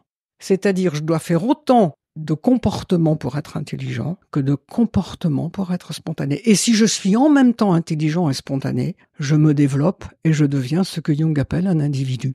Donc ça, c'est la piste de progrès, c'est le chemin de développement, comme tu l'appelles. C'est le fameux chemin de développement. Et en coaching, c'est génial. Comment est-ce que je vais travailler pour être plus spontané? Comment est-ce que je vais travailler pour être plus, plus, plus, plus, plus, ce qui est effectivement le positif de mes détestations? Et le chemin de développement, il est là. Hum, c'est très clair. Alors, vraiment lisez le livre parce que pour le coup, le livre, il y a plein d'exemples et c'est vraiment euh, une délectation à lire. Question préalable. Est-ce que ça marche les jugements négatifs sur moi-même? Évidemment. Alors c'est vraiment la vision négative de moi. C'est ce qu'on appelle en dialogue intérieur le critique intérieur. Et le critique intérieur, il a pris toutes les injonctions parentales, les injonctions sociétales, il les a multipliées par dix. Et je les ai à l'intérieur. C'est ce qu'on appelle des introjections. C'est ce qu'on appelle les introjections. Donc à l'intérieur, je suis pas assez courageuse, euh, pas assez intelligente, bien évidemment, pas assez loyale, pas assez droite, pas assez... Ou trop ceci ou trop cela. Pas assez ou trop dans les deux sens. Hein. Bon, je suis trop bête ou pas assez intelligente, tu le fais à la sauce que tu veux. Et donc, on est bourré, chargé comme des mules, avec ces critiques intérieures. Et avant que j'ai bougé, mon critique intérieur, qui n'a qu'un objectif, c'est de me permettre de m'adapter à la vie, il en fait plus que papa maman réunis, que le curé euh, ou, le, rabbin du coin, tu vois. J'ai rien contre ces nobles personnages. Mais effectivement, je, m'attribue à moi-même bien plus fort que ce qu'on a essayé de me donner. Je sais pas si ça répond à ta question. Oui, et donc ça veut dire que euh, les auditeurs et les auditrices qui pourraient avoir des jugements négatifs envers eux-mêmes ou envers elles-mêmes peuvent faire le même travail. Mais complètement. Si je me juge pas assez courageuse, qu'est-ce que ça veut dire? Ça veut dire qu'effectivement, je ne veux pas reconnaître que quelque part, je suis courageuse. Bien évidemment, il faut travailler. Alors ça, c'est énorme, c'est énorme comme boulot. Parce que ça nous colle à la peau, le propre jugement négatif qu'on a. Et alors c'est curieux parce que ce critique intérieur, on le voit bien en dialogue intérieur, quelque part il ne veut que notre bien. Mais voulant notre bien, eh ben c'est notre mal qui arrive. Il peut être amené à nous scléroser. Mais est-ce que c'est possible de le faire en auto-coaching, si je puis dire, ce travail de retournement, de questionnement, euh, de challenge de ces jugements négatifs envers moi-même, ou vaut-il mieux le faire avec un ou une professionnelle de l'accompagnement? On peut le faire tout seul, mais je dirais c'est plus rapide et plus efficace de le faire avec quelqu'un en face, parce que tout seul on voit pas tout. Freud disait avec beaucoup d'humour, je peux pas me mettre sur le balcon pour me regarder passer dans la rue. Pas encore. ça, viendra techniquement. Avec la technologie. Voilà, un jour un hologramme pourra peut-être permettre de faire ce genre de choses. Est-ce qu'il y a des jugements qui sont genrés? Hé bonne question. Ben, essentiellement qu'il y a des jugements genrés. Est-ce que les femmes que tu as accompagnées avaient plus tendance à avoir des jugements euh, négatifs de tel ordre et les hommes de tel ordre? Moi, spontanément, je me dis, du côté masculin, peut-être des, des jugements sur euh, la puissance, sur la virilité, l'attrait aux yeux des femmes, etc. Les hommes ont, besoin de se sentir puissants. Alors c'est marrant parce que ça fonctionne presque à l'inverse. Les hommes ont besoin de se sentir puissants et c'est important qu'ils se sentent puissants. Les femmes ne se donnent pas le droit à la puissance. Les femmes d'emblée, c'est complètement culturel. Les femmes d'emblée ne se donnent pas le droit à la puissance. Ou alors elles se donnent le droit à une espèce de surpuissance factice. Donc tu vois, on est très genré là. Hein. On a envie de dire aux hommes, attendez, vous avez le droit de lâcher un peu les armes là les gars. Hein. Euh, vraiment, non, vraiment c'est pas la peine d'en faire tant. Donc le repos du guerrier est possible. Le repos du guerrier, c'est tendancieux. Hein. le repos du guerrier, en général. Bon, bref, trois petits points de suspension. Donc, euh, de faire comprendre aux hommes que l'amplification de ce qu'on attend d'eux est nuisible à leur épanouissement, et de faire comprendre aux femmes que le, rabaissement que la société leur a inculqué est nuisible à leur épanouissement. Et c'est clair que 99% des femmes ont ce sentiment intérieur de manque de puissance ou de non-droit à la puissance, comme si la puissance des femmes contrariait leur nature de femme. Et le lâcher-prise des mecs sur la puissance contrariait leur virilité. Autre question, est-ce que les jugements ont une classe sociale? C'est-à-dire concrètement, est-ce que les riches versus ceux qui peut-être ont des revenus plus modestes ont des jugements types? En, coaching, je, je côtoie toujours la même classe sociale, donc j'ai pas beaucoup de diversification. Dans mon activité de thérapeute aujourd'hui, j'ai la chance, j'allais dire, de rencontrer des gens qui sont tellement différents du public qu'on peut rencontrer dans, en coaching. Je dirais que c'est la même chose avec pas tout à fait la même amplification. Je vois pas tellement de différence. Il y a un degré euh, d'exigence plus fort euh, oui. selon la classe sociale? Oui. oui. Tu peux donner des exemples? Qui n'ont valeur que d'exemples, mais c'est intéressant. Oui, euh, je pense que les classes sociales cultivées sont un amplificateur. Alors je dirais c'est un amplificateur subtil. Les classes sociales moins privilégiées économiquement, ça se manifeste pas de la même manière et c'est pas le même niveau d'amplification. C'est intéressant ta question. Faut que je réfléchisse plus avant. Pour moi, il n'y a pas tellement de différence que ça parce que les humains restent des humains. Alors plus fondamentalement, Marie-Agnès, à quoi sert cette gymnastique intellectuelle, euh, cette gymnastique de la pensée euh, et, du regard à, porter finalement sur ces, jugements? À quoi ça sert? Ouais. Bah ça sert à se développer. Ça sert à... La réponse, je la connais. Hein. bah, ça sert à arrêter de vivre avec la moitié de soi. Ça, ça sert à aller chercher ce qu'on a mis dans l'ombre, à aller chercher des ressources qui ont été pas exploitées, qui ont été cachées, je veux pas personnellement ne vivre qu'avec ce que je me suis collé ou ce qu'on m'a collé comme attribut féminin. Non, je, veux pas, c'est que la moitié de moi. Et pour moi, les humains, ils sont coupés en deux. La société les coupe en deux, alors dans le sens que tu veux. Hein. Et tout ça, ça a pour moi, encore une fois, l'ouverture de la conscience, l'ouverture de la, conscience, et puis c'est, urgent aujourd'hui. À force d'être des êtres unilatéraux, on se tape sur la figure, on fait des choses abominables. Ah, il y a urgence, faut, faut se dépêcher de devenir entier. Mais est-ce que c'est pas aussi finalement une invitation à accueillir tout ce qui émane de sa pensée, mais avec justement un prisme de pragmatique de euh, je vais pouvoir utiliser maintenant les projections que je fais à tout vent et m'en servir pour mieux me connaître, mieux me comprendre et aussi mieux progresser? Oui. Alors là, 5 sur 5, David. Si je commence à accepter tout ce qui vient de moi, quoi que ce soit, quelles que soient mes pensées, je les accepte, je les prends comme telles. Si on était tous capables de faire ça, on serait capable d'accepter la pensée des autres. Ce que dit Jung est merveilleux, il dit, il suffit de traverser. Si je suis en train de me dire, je suis horriblement en colère, je suis furieuse, je trouve ça injuste, je traverse ma colère. Traversant ma colère, qu'est-ce que je fais? Je laisse la place à l'autre qui arrive. L'autre, c'est quoi? C'est l'apaisement. Et si je sais jouer entre apaisement, colère, sans rien faire de plus que de sentir ma colère, de sentir mon apaisement, j'ai ce mouvement, tu sais, de, de, de l'hémiscate là qui arrive. Qu'est-ce qui se passe? Ça monte, ça monte, ça monte et ça passe au niveau du dessus et c'est transcendé. Qu'est-ce qu'on fait aujourd'hui? On appuie tous sur un côté. Oh, vous êtes tous des gros, gros, gros, gros méchants, soyez culpabilisés. C'est horrible. Qu'est-ce qu'on fait? Acceptons, prenons ce que nous pensons comme c'est, sans aucun jugement. Plus facile à dire qu'à faire. Comment tu utilises concrètement euh, cette euh, approche dans tes accompagnements? Est-ce que tu l'utilises tant avec les managers qu'avec les collaborateurs? Est-ce que c'est quelque chose que tu peux enseigner aussi à des collectifs? Bien sûr. Moi, c'est systématique. C'est-à-dire que cet exercice du chemin de développement, c'est presque systématique. pratiquement la deuxième séance ou la troisième séance, on fait cet exercice. Parce qu'on se donne une perspective. Alors, il y a les objectifs du coaching, mais en général, c'est très rigolo. Les objectifs du coaching, ils correspondent exactement au chemin de développement. Je vais te raconter une petite histoire. C'était tellement rigolo. Réunion tripartite entre la DRH, le manager en question, qui était un directeur financier. Donc le manager, le coaché, hein, le client. Le coaché, le futur coaché. Et le DRH explique, alors un DRH assez subtil qui explique à la personne en question, euh, oui, tu comprends, tu es un excellent manager, mais, des fois c'est, c'est un petit peu rude, tes collaborateurs, ils aimeraient. Et alors l'autre l'arrête dit, bon, j'ai compris, tu veux que je mette des guirlandes partout? C'était génial. Donc comment ça a été repris? Il faut que je mette des guirlandes. Parce que pour cette personne-là, projection complète, diabolisation, le fait, effectivement, d'être un peu plus rond dans ses relations, c'était mettre des boules de Noël, des guirlandes et des scintillements. Sur le chemin de développement, on a pris qu'est-ce que ça veut dire mettre des guirlandes?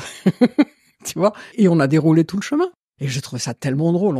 il a éclaté de rire, le DRH. Alors justement, déroulons pour bien faire comprendre l'exemple peut-être jusqu'au bout. Alors, qu'est-ce que ça voulait dire pour lui euh, mettre des guirlandes? Alors voilà, mettre des guirlandes, c'est quoi? C'est perdre du temps, perdre du temps à ce qui n'est pas essentiel, Perdre du temps à ce qui n'est pas attendu opérationnellement, c'est perdre du temps. Je déteste les gens qui perdent leur temps. Je déteste perdre mon temps. Ah, lui, il avait l'air très orienté résultat. Hein. Ah ben, complètement. Alors, un, un, point extrême. Extrêmement opérationnel. Vraiment parfait. Mais il avait tout mis dans l'opérationnel parce que c'était son, son système de valeurs, c'était l'opérationnel. Bon, de l'autre côté, c'est quoi? Le relationnel. Le relationnel. Et là, le relationnel, il n'y avait rien. Soit vous êtes au service de l'atteinte de l'objectif, soit vous n'existez pas. Exactement. Donc, si tu veux, alors, on est bien là dans la dynamique des fonctions de Jung. Hein. Tu as le, côté feeling et le côté thinking. Lui, il était thinking à fond. Hein. On est là, l'objectif, l'objectif. Le mec, on s'en fout. Alors le DRH dit attends ça, serait bien quand même bon enfin je sais pas et donc tout, tout, le boulot ça a été bravo d'être sur l'objectif bravo d'être dans le dans, dans l'opérationnel dans le résultat bravo. Mais vous avez le droit aussi et en même temps d'être dans le relationnel. Et si on est dans le relationnel c'est pas mettre des guirlandes. Oui clair et il a réussi euh... Oui, c'était trop mignon. Et donc son chemin de développement à lui, c'était quoi? C'était euh, de, de, ralentir, de prendre le temps, c'était... De, voir autre chose que l'opérationnel. Et ça, ça a été merveilleux. De voir qu'en prenant le temps de regarder l'autre, non pas comme une machine à produire du résultat, mais comme un être humain avec des affects, ça a augmenté l'opérationnel. C'est-à-dire qu'il devenait de plus en plus performant. Et oui. Donc ça servait son objectif initial, alors qu'a priori, selon son propre euh, jugement, ça le desservait. Absolument. C'est-à-dire que si tu fais en même temps de l'opérationnel et du relationnel, bah, tu grandis tes résultats. Donc il devait être très content à la fin. Est-ce que tu veux redire un, mot sur ce livre avant de passer à la suite? Alors, on n'a pas du tout parlé dans ce livre, d'ailleurs, c'est le, focus est mis sur tout ce qui est jugement. Le focus n'est pas mis sur euh, la spirale dynamique de Claire Graves, qui est un modèle socio-psychologique extrêmement intéressant, mais on n'a pas forcément le temps d'en parler là. Oui, je craignais en, l'évoquant que ça nous prenne un temps significatif.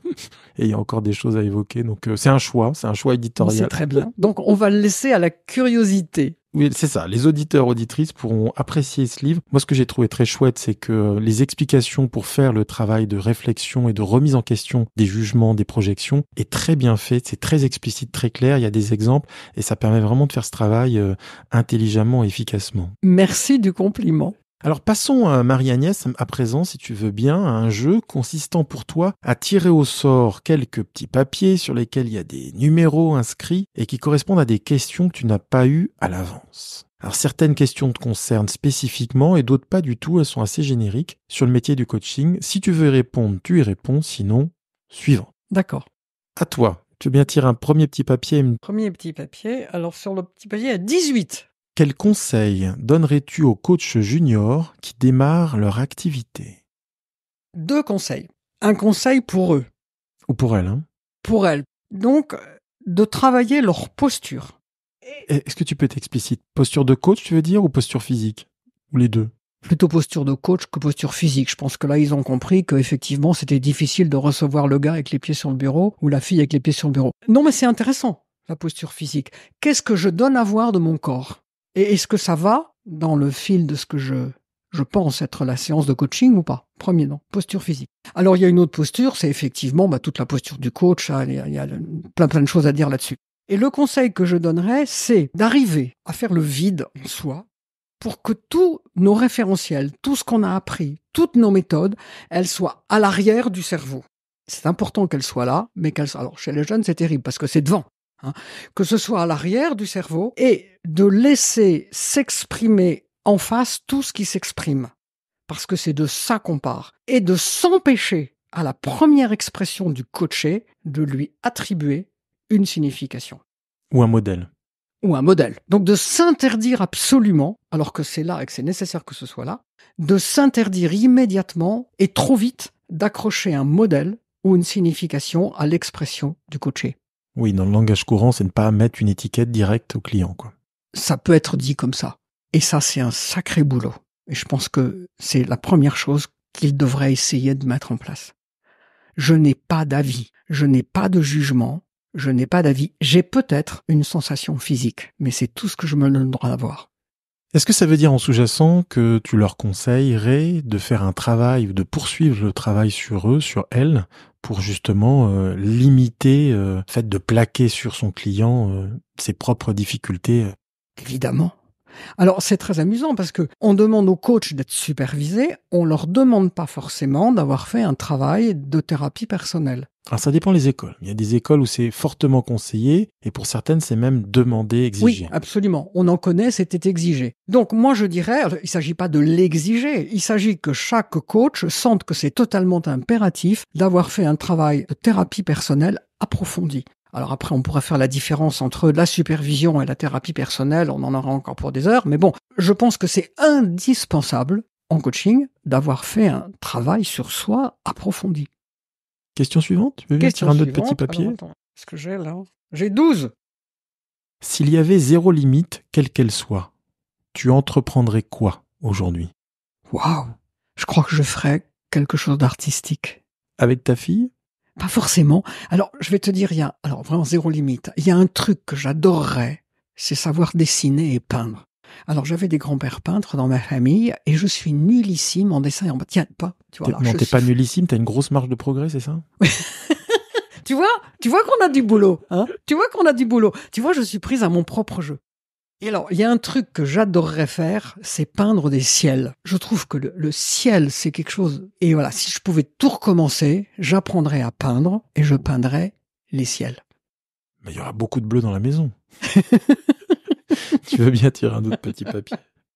29. 29. Inversion des rôles. Quelle question aimerais-tu me poser? Qu'est-ce que tu aimes dans ton métier? Moi, j'adore écouter. Et en tant que coach, je pense que c'est absolument magnifique puisque c'est quand même euh, c'est quand même la base. Hmm. Écouter et euh, ce qui va avec reformuler. J'aime beaucoup reformuler, moi. Hmm. J'aime beaucoup reformuler. Écouter, reformuler.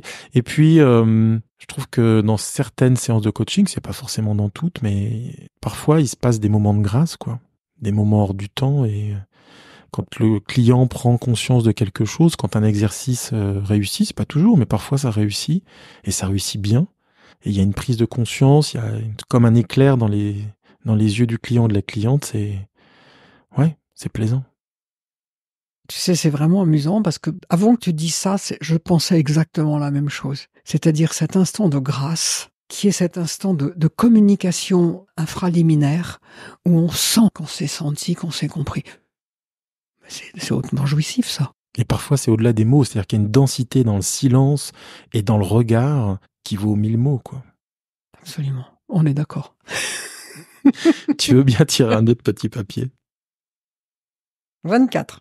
Alors là, j'adore cette question. Le plaisir dans le coaching, c'est quoi pour toi? Ah, Il y a ce qu'on vient d'évoquer. Et il y a autre chose, et ça je trouve ça extraordinaire. Moi je dis en rigolant, je fais un métier magnifique, on me paye pour que je me soigne.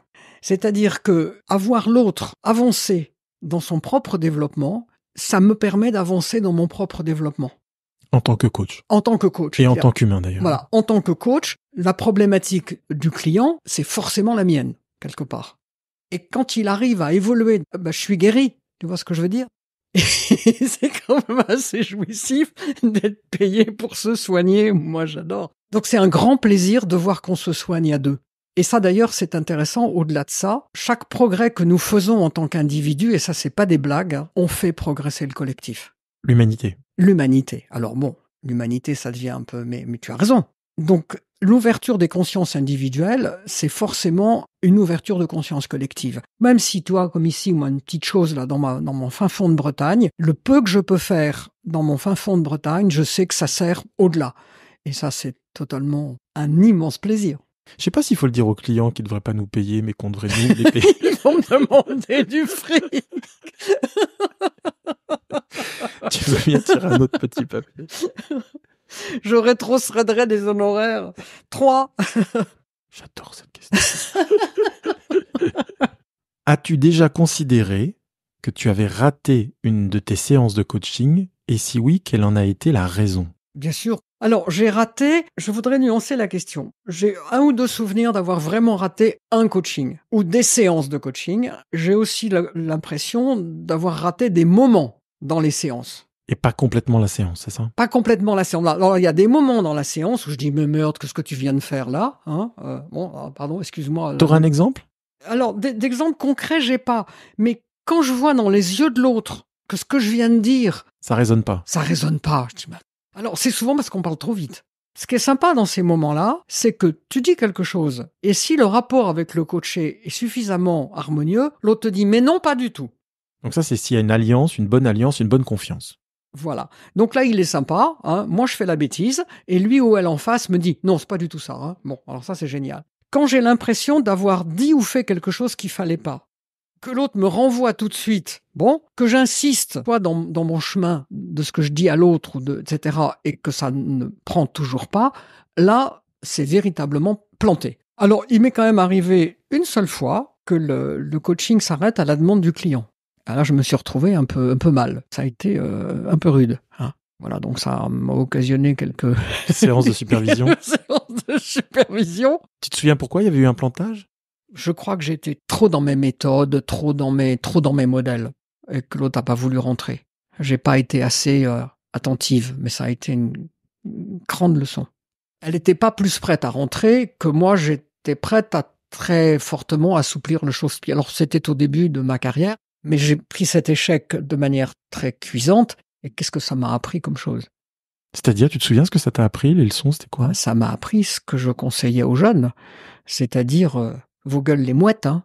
C'est-à-dire prenez de l'autonomie par rapport au modèle pour essayer d'accueillir le client tel qu'il est, l'instant T où il est en séance. quoi. C'est vraiment l'idée, et ça j'ai l'impression qu'aujourd'hui je sais faire. C'est une chose que j'essaye d'apprendre parce que je fais beaucoup de formations de coach et de thérapeute. La moindre chose qui arrive, on l'amplifie. On la laisse arriver, on lui donne l'espace. Et je pense que l'expérience en question, j'avais attrapé une demi-mesure et j'avais fait la symphonie avec. Eh ben non, c'était pas le bon ton. Ou trop tôt. Exactement. Donc vraiment, c'est ça qui est vraiment fort en la plus petite, petite cellule d'expression de la personne qui est en face est à prendre. Sans aucune référence de modèle, de rien de théorie derrière. C'est ce qu'on appelle l'époqué en gestalt. Exactement.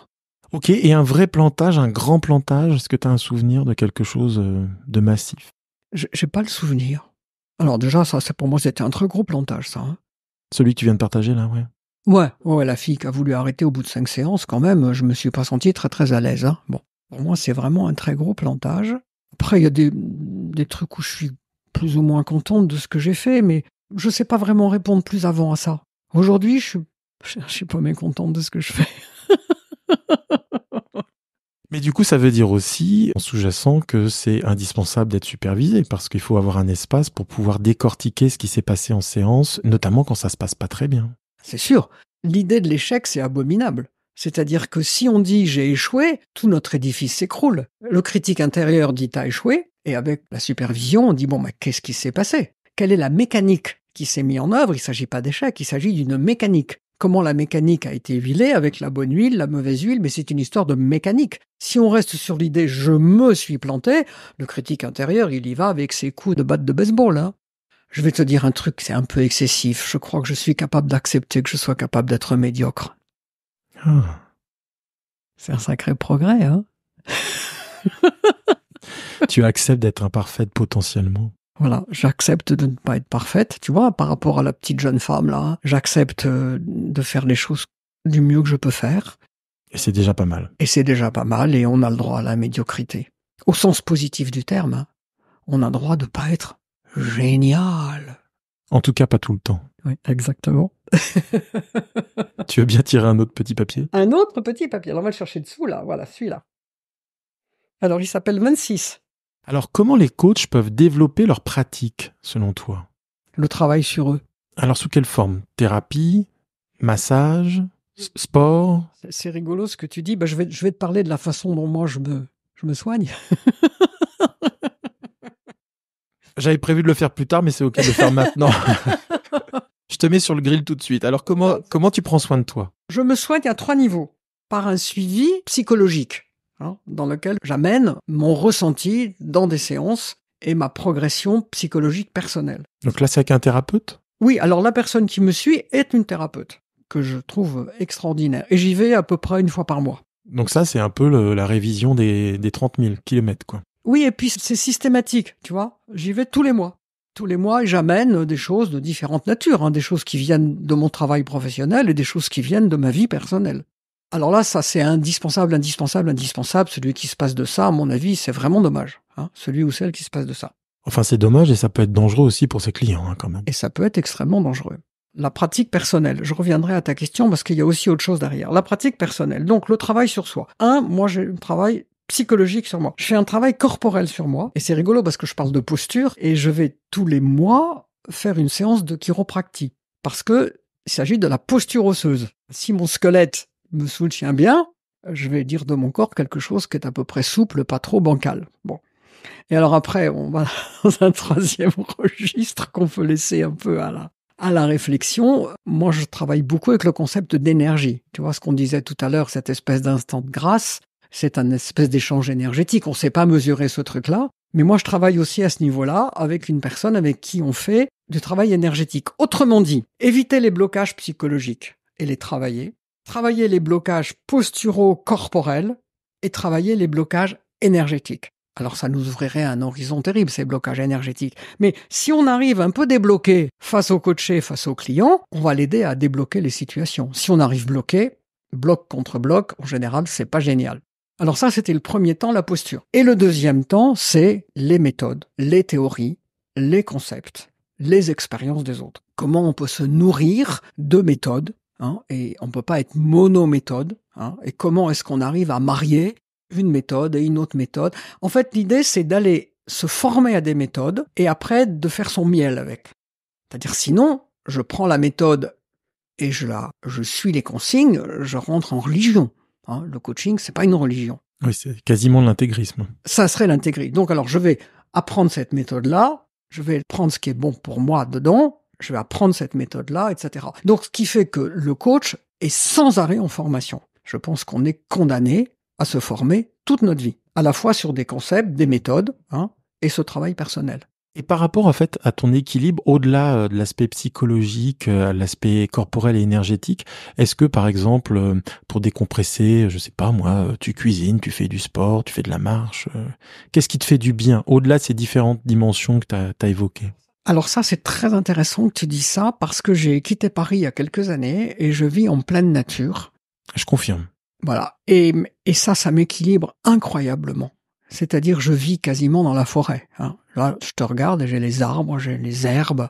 Et le fait d'être en permanence au contact avec cette nature, cette nature me renvoie des choses, je lui renvoie des choses, c'est extraordinaire. Bon, alors il y a ça, et puis j'adore faire de la couture, par exemple, hein.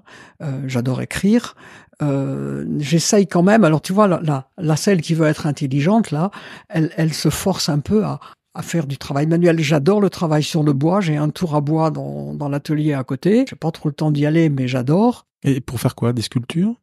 Ouais, tu fais des, tu fais des, des pieds de chaise, des machins, des, des, des, boules, des espèces de vases. Enfin, c'est très rigolo. Donc, je, je me force entre guillemets à avoir des activités manuelles. Parce que sinon, je peux passer une journée derrière mon ordinateur et ça, c'est pas, c'est pas très structurant. J'ai trois poules, trois poules et trois chats. J'adore m'occuper de mes poules. J'adore mes poules. C'est très bête une poule. Et ben, tu n'imagines pas à quel point il y a des échanges possibles avec les poules. Pourtant, c'est bête, hein Tu veux bien tirer un autre petit papier? Sept. Qu'est-ce que la vie t'a récemment appris et qui t'a surpris? J'ai trois enfants et j'ai six petits-enfants. Le septième est en route. Et sur les six petits-enfants, il y a une petite fille. Quand le sixième est arrivé, dans mon fort intérieur, je rêvais d'avoir une deuxième petite fille. Un petit garçon est arrivé. Ma dernière fille, la chanteuse d'opéra, elle est enceinte d'un petit garçon. Donc je vais avoir six petits-fils, une petite fille. Et quand l'annonce de la naissance prochaine, quand euh, ma fille et son mari ont appris qu'ils s'attendaient à un deuxième petit garçon, alors qu'évidemment ils rêvaient d'une petite fille, j'ai commencé à être mais terriblement déçu. Alors j'ai réfléchi. J'ai dit mais qu'est-ce qui se passe? Pourquoi est-ce que la nature, la vie, amène dans cette famille une petite fille et six petits garçons? Donc tu vois, je suis parti d'une déception très très forte à qu'est-ce que ça peut vouloir dire?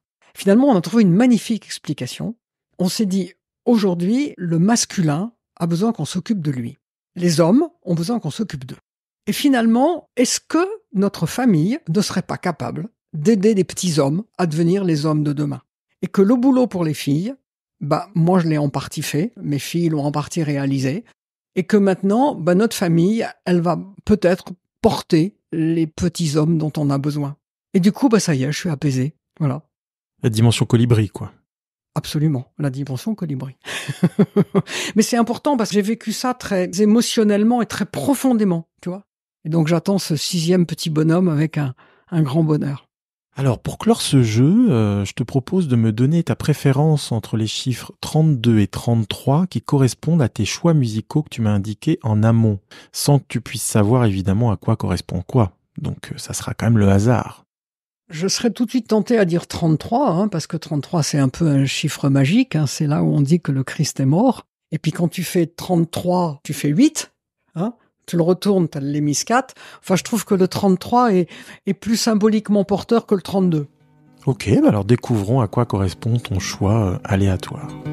Que sont mes amis devenus Que j'avais de si près et tant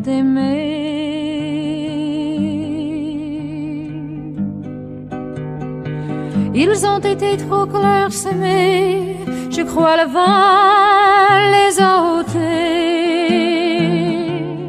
L'amour est morte.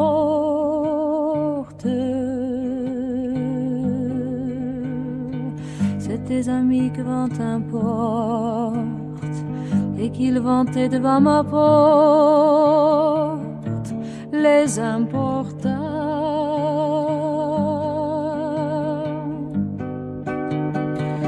Avec le temps qu'arbre de feuilles, quand il reste le branche feuille que n'aille à terre.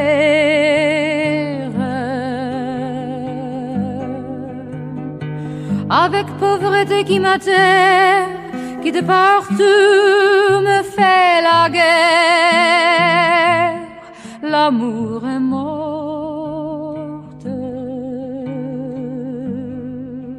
Alors il s'agit euh, de la chanson Pauvre Ruth Buff de l'autrice, compositrice, interprète américaine de musique folk John Baez, sortie en 1965. Pourquoi ce choix, Marie-Agnès? Parce que Rutebeuf était un poète du Moyen Âge. Hein, 13e siècle, oui. 13e siècle, absolument, que j'adore cette époque, que je me suis aussi passionné pour, pour Villon. J'adore le refrain, tu vois, ce sont amis que vont en porte, et ils vantaient devant ma porte. Je résonne énormément euh, émotionnellement à ce, à ce, quatrain, à ce, vers, parce que ça, signifie bien que la profondeur des sentiments est une chose indispensable à l'humain. Et j'adore John Baez. tu sais, c'est la 68 art qui réagit là. Alors initialement, c'était une chanson de Léo Ferré, oui. paru sur l'album euh, Le Grinch, publié en 1955, et composé d'un assemblage d'extraits de poèmes La Complainte Rudebeuf et Le Griche d'hiver du poète du XIIIe siècle Rudebeuf, adapté en français moderne par Ferré lui-même. Tu connais cette version? Je connais cette version. J'ai réécouté la version de Léo Ferré. Je ne vibre pas du tout à cette version-là. Et la première fois, d'abord, je, vibre énormément à John Baez. J'ai entendu la première fois, j'étais une jeune fille, hein, et je vibre beaucoup à sa voix. Et quand elle a associé euh, la complainte du pauvre Rutebeuf et sa voix, j'ai dit ça j'aime. Qu'est-ce qui est présent alors du coup à l'écoute de cette chanson quand tu écoutes Jeanne Baise chanter euh, précisément cette chanson? Qu'est-ce que tu ressens? Ce que je ressens, c'est d'abord une proximité avec un féminin. Et l'accent, ça permet de s'échapper un peu. Enfin, bon, sensoriellement, je, je, je vibre à ce truc-là. Je vais pas essayer d'expliquer parce que tu vois, je vais mentaliser. Mais alors en quoi cette chanson, ce choix musical, parle un peu de toi? Eh bien, ça parle de moi parce que j'ai passé un début de vie à être un être extrêmement sociable. Et je suis devenu un être euh, ermite, d'une certaine manière. Et j'adore la solitude. Et alors, il y a un truc que je peux te confier, c'est que le développement de soi isole. C'est-à-dire que, je vais nuancer ce que je dis, les rapports superficiels ne m'intéressent plus. Ce sont amis que vent emporte. Et peut-être que c'est moi qui ai soufflé. C'est-à-dire c'est moi qui ai, soufflé sur les, relations superficielles. Et on ne peut pas avoir des relations intenses avec beaucoup de gens. Donc euh, peut-être que c'est moi qui ai fermé la porte et que je suis tellement bien derrière ma porte. Mais est-ce qu'il n'y a pas aussi cette réalité qu'il est difficile de fréquenter des personnes qui ne travaillent pas suffisamment sur eux ou sur elles lorsque soi-même effectuons un, un, vrai travail intense et en profondeur alors c'est complètement vrai. Et ça, c'est un constat quelque part terrifiant. Petite parenthèse, on, je, je, milite pas mal dans une association d'accompagnants et de thérapeutes face à l'éco-anxiété des jeunes. Et on s'est fait un, un week-end, on travaille beaucoup par, euh, par visio, et on s'est fait un week-end présentiel qu'on a fait ici. Chez toi Chez moi, ici. Hein, C'était le dernier week-end d'août de cette même année. On était 10 pas énorme, mais quand même. Et à la fin du week-end, on s'est dit, mais qu'est-ce que c'est fluide, un groupe de gens qui travaillent sur eux. Et on a eu exactement la même réflexion à échelle beaucoup plus importante sur l'événement qu'on vient de faire au niveau du rassemblement de l'association du dialogue intérieur. On était 100. C'était d'une joie, d'une fluidité. C'était des coachs, essentiellement des coachs et des thérapeutes. Et on s'est fait la même réflexion en disant, mais, mais qu'est-ce que c'est facile d'être à 100? C'est fluide. Mais 100 personnes ayant fait un travail euh, significatif sur elles, sur eux. Et c'était fluide, c'était joyeux, c'était très professionnel, mais très fluide, très joyeux. Donc effectivement, si euh, on avait fait un exercice de futuriste, un moment, et on s'était dit qu'est-ce qui serait bien dans 50 ans? C'est qu'on apprenne le développement de soi à l'école. Au tout petit Tout petit. Et que toutes les écoles abaissent un peu leur programme de connaissances et montent leur programme de développement des personnes. Allez, je vais y aller, on sauverait l'humanité. Le mal ne s'est pas survenir de ce qui m'avait à venir m'est avenu.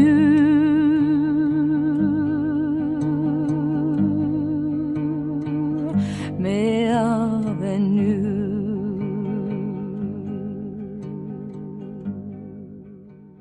Poursuivons l'exploration, euh, j'ai envie de dire, littéraire de ta production, parce qu'elle est assez euh, mirifique. Donc focus sur ton livre intitulé Devenez androgyne, ça ira mieux, essai sur la bisexualité psychique, édité par le Souffle d'Or et sorti en octobre 2012. Alors pourquoi avoir écrit ce livre, Marie-Agnès? Ce livre, c'est l'histoire de ma vie. C'est-à-dire quand je te disais tout à l'heure que j'étais une petite fille dans un environnement patriarcal avec trois frères, je me suis coltée à la frontalement qu'est-ce que c'est que le féminin, qui est normalement dans les sociétés patriarcales et porté par les femmes, qu'est-ce que c'est que le masculin, normalement porté par les hommes? Et ma colère de dire mais c'est pas des systèmes égalitaires, qu'est-ce que c'est que ce truc-là? Donc c'est vraiment quelque chose qui vient de très très très très loin. Donc j'ai voulu travailler le sujet. Et puis bon, on n'est pas psychologue pour rien. Donc je me dis, mais ok, ok la sexualité, ok, ok la différence des sexes, ok. Est-ce qu'on n'aurait pas le droit dans notre tête ou deux Pourquoi j'ai pas le droit dans ma tête d'être un mec et pourquoi un mec a pas le droit dans sa tête d'être une fille? C'est parti de là. Et donc j'ai creusé le sujet et j'ai fait ce bouquin. Est-ce que ça répond à ta question? Euh, Oui, ça répond à la question. Faisons un, un premier glossaire pour euh, faciliter la compréhension de ce que nous allons dire par la suite. Comment tu définirais l'androgynie? Ah oui, alors attends, soyons très clairs. Hein. Il s'agit de l'androgynie psychique. Tout à fait. On est clair. On est clair là-dessus. Mais il hein? faut quand même définir l'androgynie et l'androgynie psychique. Qu'est-ce que c'est que d'être androgyne? C'est de porter en même temps et à la fois les caractéristiques dans sa psyché du principe féminin et du principe masculin. Voilà ma définition. Est-ce que tu peux étayer par un exemple? C'est-à-dire que moi, j'ai été élevée en tant que fille. Et en tant que fille, on m'a élevée dans un système de valeurs, de douceur, soumission, de soumission à l'homme, de je la ramène pas trop, je, je crie pas, je hurle pas, je grimpe pas aux arbres, je prends pas des risques inconsidérés. Voilà. Ça, c'est comme ça que j'ai été élevée en tant que fille. Ah ah. Bon. Alors une fille, ça doit être doux, gentil, etc. Et j'ai droit qu'à ça. Si j'ai envie d'entreprendre, si j'ai envie de grimper aux arbres, si j'ai envie de, de créer une entreprise, ça, c'est des composantes masculines auxquelles j'ai pas droit. C'est pas possible. Je veux avoir droit à tout. Je veux à la fois avoir droit d'être douce et expressive, de m'affirmer et de rentrer dans mon trou. Je veux avoir droit à tout. Ça a réveillé la rebelle. Évidemment. Alors la rebelle, alors attends, tu vas rigoler parce que il y a des gens qui ont traité ce, ce livre de féministe. Alors si tu savais à quel point je me suis mais crispé la main pour ne pas laisser partir ma rebelle. Ma rebelle aurait fait un bouquin très, moi je suis pour le féminisme, hein, aurait fait un bouquin très très colère féministe. J'ai vraiment tenu ma, ma rebelle. Vraiment, je, je l'ai tenu. T'as fait quelques séances de dialogue intérieur pour pacifier, c'est ça? Absolument, je me suis fait des séances de dialogue intérieur pour que la rebelle n'arrive pas en frontal. Hein. Donc la rebelle, elle était bien bien là, mais pas en frontal. Et effectivement, d'essayer de comprendre et d'expliquer et de donner des clés pour que tous nous ayons droit au double potentiel psychique. On est tous des castrés psychiquement. C'est un peu triste, hein? Classique mais triste. Et alors toujours dans, dans cet esprit glossaire, comment tu définirais après l'androgynie psychique, comment tu définirais la bisexualité psychique? Bah, L'androgynie psychique, c'est le moment où tu as réussi ta bisexualité. Je m'explique. Oui, c'est un peu l'histoire de... Encore une fois, l'histoire du lémiscate, hein, le 8 à plat, hein, qui bouge. Dans certains moments, je vais pouvoir être totalement dans mon principe féminin. Et dans d'autres moments, je vais être totalement dans mon principe masculin. Et si je sais faire ça avec beaucoup de souplesse, je suis devenu androgyne. J'ai les deux composantes actives que je vais activer en fonction des moments, des événements, des gens avec qui je suis. C'est ça l'androgynie, c'est la bisexualité active. Donc c'est une sorte de danse entre les archétypes, C'est une danse. C'est une danse. entre la partie féminine et la partie masculine. Absolument, c'est une danse. D'ailleurs, c'est comme la danse. hein. Donc il n'y a pas de rigidité, il y a cette, y a pas de fixité dans une partie, il y a la possibilité de basculer de l'une à l'autre en fonction de ce qui est juste. Exactement, c'est une danse. C'est un mouvement. Et c'est ça pour moi l'androgynie, c'est ce mouvement, cette souplesse. C'est j'ai tous les droits.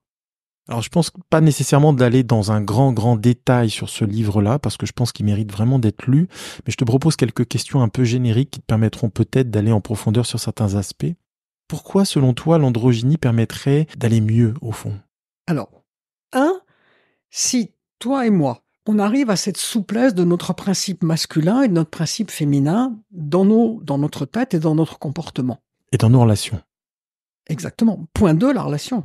Point 1, c'est moi. Si le focus initial, c'est la personne, si la personne est capable de sortir de ces schémas d'unilatéralité, de fixité, de rigidité comportementale adaptative, si elle arrive à évoluer sur suffisamment de maturité pour avoir cette souplesse intérieure, qui que tu sois en face, t'es le bienvenu.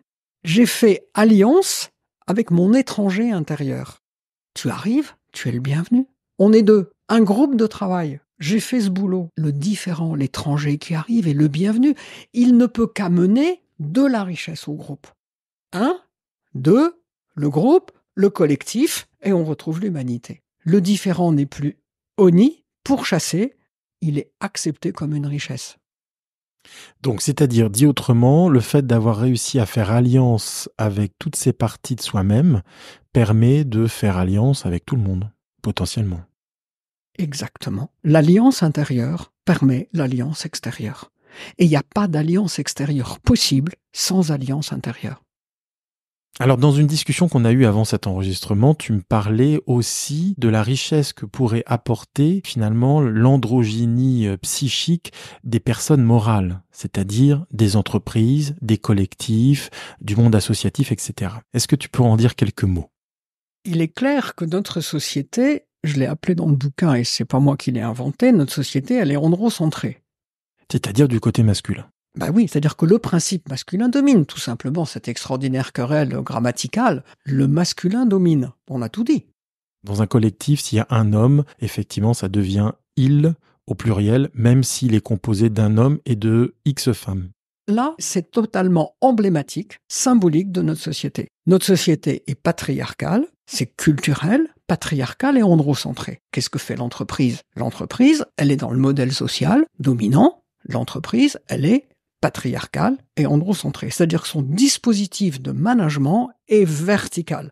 Dieu le Père, donc le dirigeant, par exemple Le dirigeant, le dirigeant, même si c'est la dirigeante, le dirigeant en haut, système patriarcal androcentré, et le principe masculin est vertical, comme la verticalité phallique. Prenons un symbole euh, très cru. Hein ok. Eh ben, figure-toi qu'aujourd'hui, ce modèle-là, eh ben, il marche plus. Il est dépassé. Il est dépassé parce que l'évolution a dépassé, les processus de production sont plus les mêmes, la société a évolué. Si on continue aujourd'hui dans notre économie à faire fonctionner les entreprises avec ce modèle vertical patriarcal, ça ne peut pas fonctionner. Donc il faut effectivement aider les entreprises à faire cette conjonction entre le modèle masculin et le modèle féminin, qui dans les entreprises est un petit peu rentré mais pas vraiment. Le jour où on aura fait cette espèce d'harmonie à l'intérieur des entreprises entre le, le modèle du principe féminin associé au modèle du principe masculin, mais ça va, ça va exploser. Et quand tu expliques ça euh, à des clients, euh, dirigeants, ils le comprennent aisément? Comment c'est accueilli? Alors, euh, c'est dans ces termes-là quasi inexplicable. je m'en doutais un peu hein, de la réponse. J'avais la, j'avais la prétention et la naïveté, après avoir écrit ce bouquin, j'avais, j'avais sous le coude l'androgynie des entreprises. Bah, j'ai renoncé tout de suite. Enfin, ça, c'est un livre qui a 10 ans. Oui, il a plus de 10 ans. Plus de 10 ans. Peut-être qu'aujourd'hui, il pourrait être... Euh, Mais il faudrait pas l'appeler comme ça. D'ailleurs, c'est très joli aujourd'hui. Aujourd'hui, on parle de management inclusif. Le management inclusif, c'est de l'androgynie, mais c'est beaucoup plus intelligemment nommé. le leadership inclusif. Et on y va. On y va franco là. Hein. Bon, alors parce que dire, attends, il y a vraiment eu une avancée considérable, notamment par la représentation féminine des comités de direction. Ça commence à venir, des postes d'encadrement qui sont vraiment aujourd'hui pris par des femmes. Alors je, attention, le féminin n'est pas porté par les femmes. Pas que, en tout cas, pas que. Pas que. Aujourd'hui, effectivement, on pourrait reparler de tout ça, mais pas en ces termes-là. C'est choquant. En tout cas, c'était précurseur à cette époque d'avoir cette vision-là. C'est ce que c'est que d'être un peu précurseur. Et j'avais une autre question, euh, Marie-Agnès. Est-ce que euh, la théorie du genre et d'autres réflexions actuelles euh, sur l'identité t'inciteraient à écrire différemment ou à ajouter des chapitres à ce livre, voilà, édité il y a plus de dix ans? Oui, alors ça c'est une vraie question parce que je suis très troublé aujourd'hui, euh, non pas troublé des querelles du genre, parce que si le fond, le fond de la querelle du genre, c'est il serait temps d'équilibrer un peu les choses hein, entre le féminin et le masculin, j'adhère à plein. Ce qui me trouble infiniment, c'est tous ces jeunes qui se sentent ni hommes ni femmes. Les yels.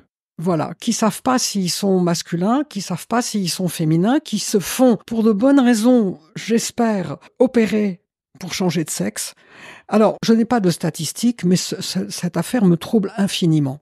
C'est-à-dire qu'il faut respecter la personne qui se sent mal dans son corps, qui peut pas supporter son sexe en tant qu'organe, parce qu'il veut être de l'autre côté. Et c'est tellement de souffrance que ça, quand il y a souffrance, il faut, il faut, il faut écouter. Et accompagner. Et aider et accompagner. Aujourd'hui, il y a énormément, beaucoup plus qu'avant de jeunes. Alors ça veut dire qu'avant, ils osaient pas, auquel cas c'est très bien que effectivement on a on a complètement bousculé la problématique de l'identité. Et je crois que c'est quand même important, même si on est bisexuel dans sa tête, c'est quand même important de se sentir bien avec son corps sexué. On en fait ce qu'on veut. Hein, la sexualité, c'est autre chose. Mais quand même, quand on a un corps de femme ou un corps d'homme, eh ben, c'est tellement bien de se sentir bien avec ce sexe-là. On en fait ce qu'on veut, c'est un autre problème.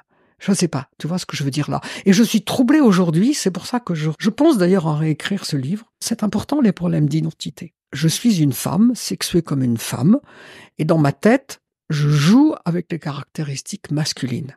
Et féminines. Et féminines, et ça, ça me construit. Je ne suis pas bien avec mon corps de femme, ça va pas m'aider à me construire. La sensation, l'impression de l'harmonie d'un corps. Mais d'ailleurs, ça a été terrible, si tu veux. On a tellement socialement pour que les femmes n'aient pas de sexualité trop tôt. Tu vois, moi j'ai été élevé dans l'idée on arrive vierge au mariage, je vois toutes ces toutes ces stupidités. Et pour que les, les filles se tiennent à carreau, on, on leur a mis dans la tête que leur corps c'était un truc abominable, dégueulasse. Comment on se construit avec l'idée que son sexe est dégueulasse?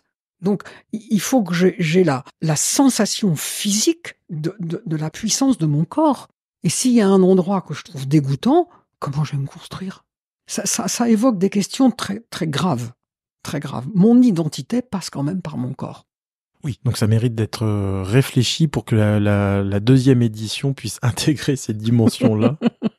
Il y a un partage que j'aimerais te faire également, Marie-Agnès, c'est que euh, j'étais assez surpris de ce troisième livre parce qu'il a une dimension très philosophique, euh, j'ai envie de dire, un regard à la fois bienveillant et confrontant sur ce que l'humanité gagnerait si elle était moins dans une forme de rigidité par rapport à ces questions d'identité, mais au contraire dans quelque chose de plus universel. Qu'est-ce que ça t'évoque? D'abord, ça me fait très plaisir que tu évoques le côté philosophique parce que c'est magnifique d'imaginer qu'on peut avoir cette posture. Donc, merci pour ça.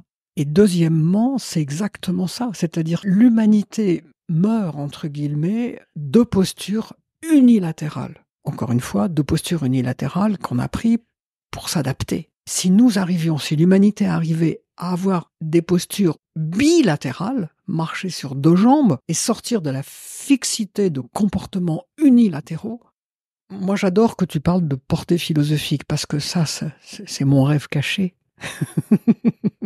Et c'est des études que tu n'as pas suivies. Non. Tu as fait de la sociologie, tu as fait de la psychologie, tu as fait du fonctionnement des organisations, etc. Mais tu pas fait de philo. Oui, parce qu'effectivement, je ne me donnais pas le droit, peut-être, d'être une philosophe. Être psychologue, être sociologue, c'est être dans l'opérationnel. Être philosophe, ça a une portée universelle et, et peut-être que je ne me donnais pas le droit. C'est pour ça que ça me fait très très plaisir que tu parles de philosophie, tu vois. Ça, c'est effectivement le miroir que tu renvoies de ce que je ne me donne pas l'autorisation d'être. Merci ça m'a surpris aussi parce que le deuxième livre dont nous avons parlé euh, sur euh, les projections était très pratico-pratique. Voilà, ça pourrait presque être un manuel d'auto-coaching euh, pour chaque lecteur, etc., pour comprendre finalement quels sont les sous-jacents, les non-dits, etc. Et il y avait cette dimension pratico-pratique qui est beaucoup moins présente dans le livre sur l'androgynie psychique. Et alors là, j'aimerais bien faire un commentaire si tu m'autorises. J'ai lu des tas de bouquins qui m'ont énervé, ma colère est montée, des bouquins qui disent il faut. Bien sûr qu'il faut. Il faut lâcher prise. Mais ça me donne envie de hurler. Ouais, c'est une injonction. L'injonction. Et les bouquins injonction, j'en ai lu des tas et ça me fiche en colère. Moi, je veux bien tout ce que vous voulez, les gars. Mais expliquez-moi comment il faut faire. L'injonction, c'est insupportable. Donc j'ai peut-être tiré un petit peu trop sur le côté pratico-pratique, mais donnez-moi des outils. Je, je sais bien ce qu'il faut que je fasse, mais je sais pas faire. Voilà, c'est pour ça que j'ai tiré sur le côté. Merci d'avoir l'occasion de dire ça aussi. Je veux donner les moyens aux gens d'arriver là où ils veulent arriver. Alors du coup, la question qui me vient, euh, au vu de tout ce qu'on s'est dit, c'est euh, à quel moment tu vas écrire ce livre sur euh, l'androgynie psychique des personnes morales? Ah là là, il y a du pouce au crime là. Je sais pas parce que c'est un boulot énorme d'écrire. Alors peut-être celui-là, ça sera plus facile. Il faut que je sente l'urgence collective. Ah bah, respire, hein, parce qu'il me semble que l'urgence collective, elle est, elle est bien là. oui, oui, elle est là. Alors, si je pouvais matiner mm, par rapport à mon engagement vis-à-vis de tout ce qu'on appelle aujourd'hui euh, les difficultés climatiques, l'écologie, le drame de l'éco-anxiété des jeunes, c'est des choses qui sont terrifiantes. Si ça peut se joindre à cette, euh, ce qui m'anime aujourd'hui très très fort, moi je finis ma vie et il y en a qui la commencent. Et il la commence dans des conditions absolument abominables. On n'a pas le droit. On n'a pas le droit de les laisser là-dedans. Donc peut-être que ça va me pousser. Ça t'émeut? Oui, absolument. J'ai mes petits-enfants, hein, et les petits-enfants de toute la Terre. Ils n'ont pas mérité ça. Hein. Mais justement, est-ce que finalement, euh, l'une des voies possibles, c'est euh, cette réflexion et, et cette application de cette androgynie psychique à tous les espaces de nos vies? Je suis sûr que si nos petits garçons et nos petites filles demain, ils sont capables d'avoir cette souplesse à l'intérieur d'eux pour accepter de porter la différence à l'intérieur d'eux et de la regarder et de la porter à l'extérieur d'eux, on sauve l'humanité. Soyons enthousiastes. Ça vaut le coup d'écrire 300 pages. ok David. que faut-il retenir de cette réflexion sur la bisexualité psychique? Ce qu'il faut retenir, c'est qu'on est des êtres merveilleux et qu'on est des êtres perpétuels évolution. Alors, je te parle du psychisme, je te parle pas de ce qu'on appelle l'inconscient. C'est-à-dire qu'effectivement, on est un corps, on est une psyché, mais on appartient à un tout énorme qui s'appelle la nature, qui s'appelle je sais pas quoi. Plus on fait de travail pour s'expanser, plus on est en harmonie avec ce qui nous entoure. Aujourd'hui, avec ces problématiques écologiques dramatiques, il faut commencer par être soi-même en pleine harmonie avec soi pour, s'ouvrir à la nature avec un grand N. C'est ça un peu que j'ai envie de, porter comme message. Alors ce qui est formidable, c'est que tu fais une transition absolument parfaite pour la suite. Et l'évocation du roman graphique que je t'ai euh, proposé euh, de lire, qui s'appelle Cache-Cache Bâton d'Emmanuel Lepage, sorti chez Futuropolis en novembre 2022. Euh, Alors je vais le pitcher rapidement. Ce livre raconte au début des années 70 le fait que l'auteur, hein, Emmanuel Lepage, vivait avec ses parents dans une communauté. Plus qu'une communauté, c'était une vie alors, euh, lorsqu'il a décidé des décennies après euh, d'en faire euh, une BD qui est très fouillée, très dense, son père a eu un petit peu peur et, lui a dit à la sortie de ton livre, on prendra de longues vacances avec ta mère, loin de tout, de nos amis, de nos voisins. Et Emmanuel Lepage a répondu J'ai besoin de savoir d'où vous venez, vous et les autres. J'ai besoin de comprendre ce qui vous a poussé à créer une vie communautaire. Et donc cette vie communautaire se passe en Bretagne. Donc je l'ai pas pris totalement au hasard, hein, parce que ça parle de tout ça justement, du lien avec la nature et aussi des, liens harmonieux avec les autres. Et alors moi ça m'évoque ce que tu dis, quelque chose de très fort aussi, c'est que je ne suis pas né ex nihilo. Je suis né dans une famille, cette famille est elle-même née dans une famille, et on est quand même enraciné dans une culture, dans un lieu. Et c'est vrai que c'est extrêmement important de ne plus se voir comme un individu isolé, on est dans une, dans une filiation et on est dans une, dans un contexte naturel, culturel, et tout ça, ça nous construit. Et c'est, et, je comprends très bien que cet auteur qui a eu besoin de, de remonter, comprendre pourquoi ses parents avaient eu envie de vivre ça. Et en plus, le fait d'avoir lui vécu en communauté, aujourd'hui, on, on a malade de la, de la famille cellulaire. Papa, maman, l'enfant, les deux enfants, au maximum trois. Oui, ça c'est l'overdose. Voilà, ça c'est c'est pas possible. Donc moi je trouve que c'est extrêmement intéressant, au-delà de cet exemple fabuleux de cette BD, de, de regarder un peu comment d'autres sociétés vivent, qui n'ont pas cette espèce de famille nucléaire dans le béton. Comment est-ce qu'on se construit là et comment on se construit ailleurs où il y a les oncles, les tantes, les grands-parents, etc., la nature, les animaux. Tu parles ailleurs, mais à vrai dire, il y a deux, trois générations, c'était comme ça, hein en France aussi. Hein c'était comme ça. Et on a perdu. Alors on a gagné autre chose, mais ça on l'a perdu. Sans pouvoir tous se mettre à vivre en communauté, parce que c'est pas si simple que ça. Moi j'avais 20 ans en 68, et je pourrais te raconter des anecdotes. Tout le monde avait envie de partir dans le Larzac euh, élever des chèvres, hein. et moi j'étais parti avec des copains, on était en train de monter une communauté. Discussion, il y avait des filles et des garçons, et très clairement, il était évident que les garçons allaient refaire le monde et les filles la cuisine la répartition des tâches un peu classique. Voilà. Donc je leur ai dit c'était génial, c'était très drôle. Donc j'ai dit écoutez non, moi non, merci beaucoup. Hein. bon, donc vivre en communauté c'est pas très simple parce qu'effectivement, bah, tu as bien vu, euh, quand la famille nucléaire s'est resserrée au moment du Covid, euh, bah, tous les vieux, les vieux poncifs archétypaux sont revenus. Au galop. C'est pas parce qu'on est en communauté qu'on va être communautaire et qu'on va être solidaire. D'ailleurs, les communautés, à mon avis, ne peuvent marcher qu'avec des gens qui ont travaillé sur eux. Oui, mais on en revient toujours au même point. Hein. Toujours au même point. Hein. Mais ce qui est intéressant en fait dans cette BD, je trouve, c'est qu'il a vraiment cherché l'auteur à comprendre pourquoi ses parents et cinq autres couples, tous chrétiens de gauche, venus de milieux différents, se connaissant à peine, ont eu un jour l'envie de faire communauté de comprendre pourquoi aujourd'hui comme hier des gens inventent d'autres façons d'être ensemble et comprendre pourquoi ça l'a touché euh, profondément. Et évidemment, c'est aussi euh, redessiner les années 60-70 hein, dans cette BD, donc c'est ça qui est aussi euh, assez tendre. Et ça évoque les principaux questionnements hein, qui traversent la réflexion de beaucoup, c'est-à-dire l'enfance, le partage, l'engagement, la transmission. Et puis à la fois, il y a cette notion de l'intime du singulier, de l'histoire singulière d'Emmanuel Lepage pour aller vers l'universel et ce qui nous traverse tous. Ce qui est chouette, c'est qu'il veut comprendre pourquoi ses parents ont accepté de se dégager des modèles. Euh, il faut du courage pour dire je, vais essayer de faire autrement. Très beau parce que en même temps, il rend hommage à ses parents d'avoir eu le courage d'essayer un autre modèle social que le modèle très classique de l'époque.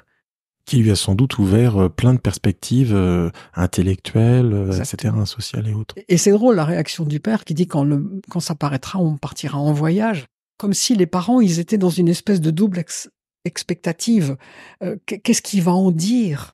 Comment notre expérience aujourd'hui va être reprise par la jeunesse? Comment est-ce qu'on va être compris ou pas compris?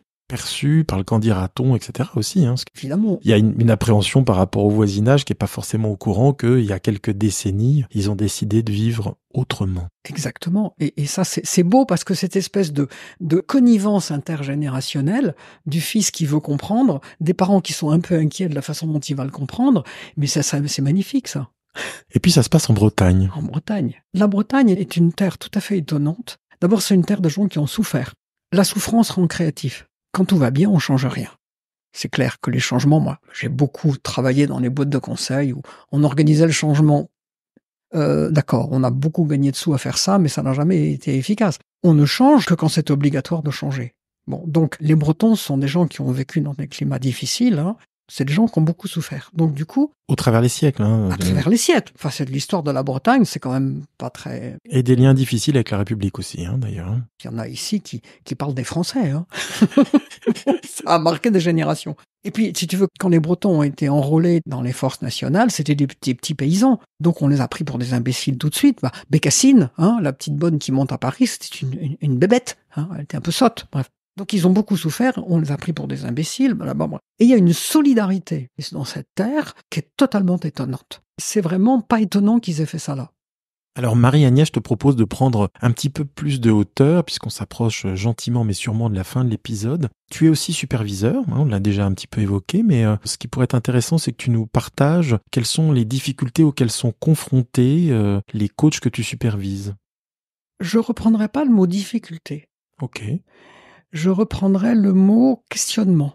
Alors je pense qu'ils viennent se faire superviser par moi pour des raisons spécifiques. C'est-à-dire que je, je mets l'accent très très fort sur leur ressenti intérieur, leur vécu intérieur, peut-être beaucoup plus que d'autres superviseurs. Bref, c'est-à-dire qu'on a la, la supervision est très peu opérationnelle. Elle est très centrée sur qu'est-ce que ça dit au fond de moi, ce que j'ai vécu avec ce client. Et surtout sur Là, j'ai l'impression que j'ai pas été bon. Et qu'est-ce qui s'est passé à ce moment-là? Qu'est-ce que vous avez ressenti? Qu'est-ce qui vous fait dire c'est plutôt ça? Moi, je travaille beaucoup sur, j'allais dire, la revalorisation intérieure. En quoi est-ce que tout est parfait? Tu vois? C'est-à-dire que leur questionnement, ça n'est que justement la bonne pierre posée pour qu'ils continuent à progresser sur leur propre posture. Autrement dit, tout est bien. Tout parle.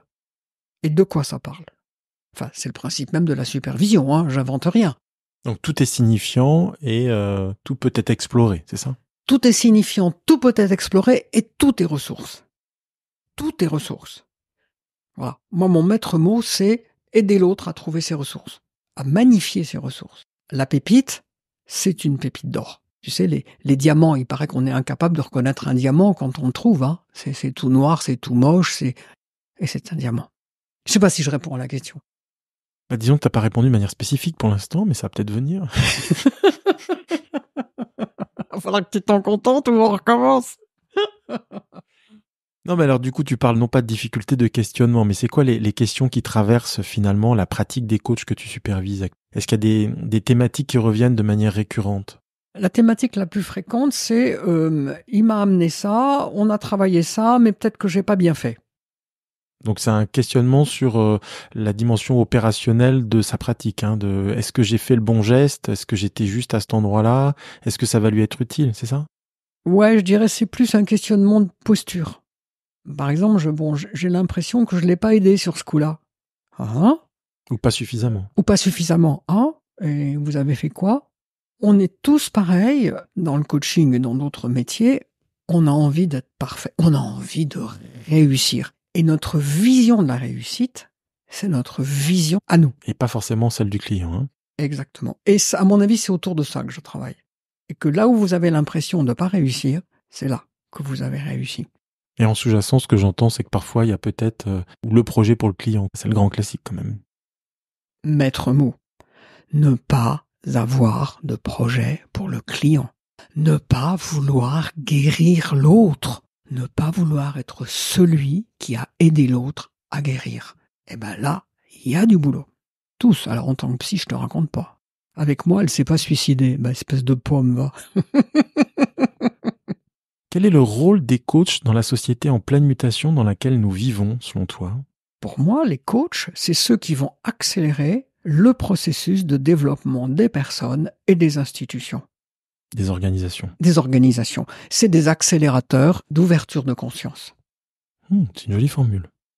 Qu'est-ce que tu souhaiterais que les auditeurs retiennent de notre entretien? Qu'ils aient pris du plaisir à nous écouter. Alors ce que j'aimerais, c'est qu'ils retiennent rien. Attends, je m'explique. Oui, l'injonction paradoxale.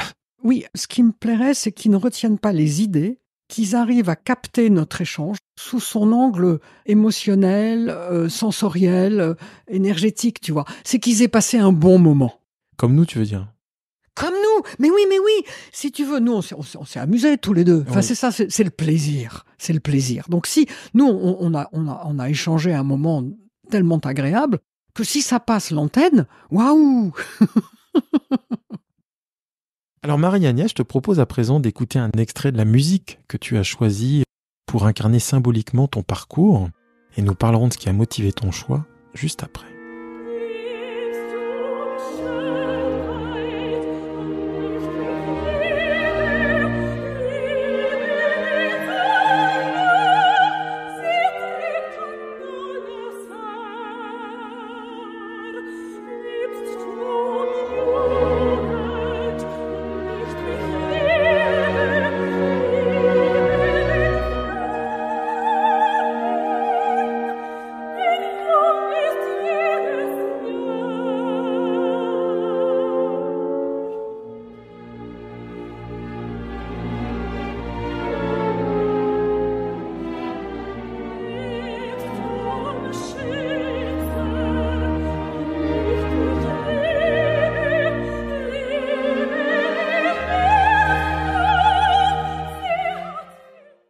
S'agit du Grand Macabre, qui est un opéra de Giorgi Ligeti, créé en 1978 à Stockholm. L'histoire est adaptée de la pièce euh, La Ballade du Grand Macabre de Michel de Gelderode, datant de 1934. L'ouvrage que le compositeur décrit comme un anti-anti-opéra fait l'objet de plusieurs révisions et traductions dans la langue du lieu de représentation. Et dans cet extrait, dans cette interprétation, c'est bien sûr de nouveau ta fille Élise Chauvin qui chante.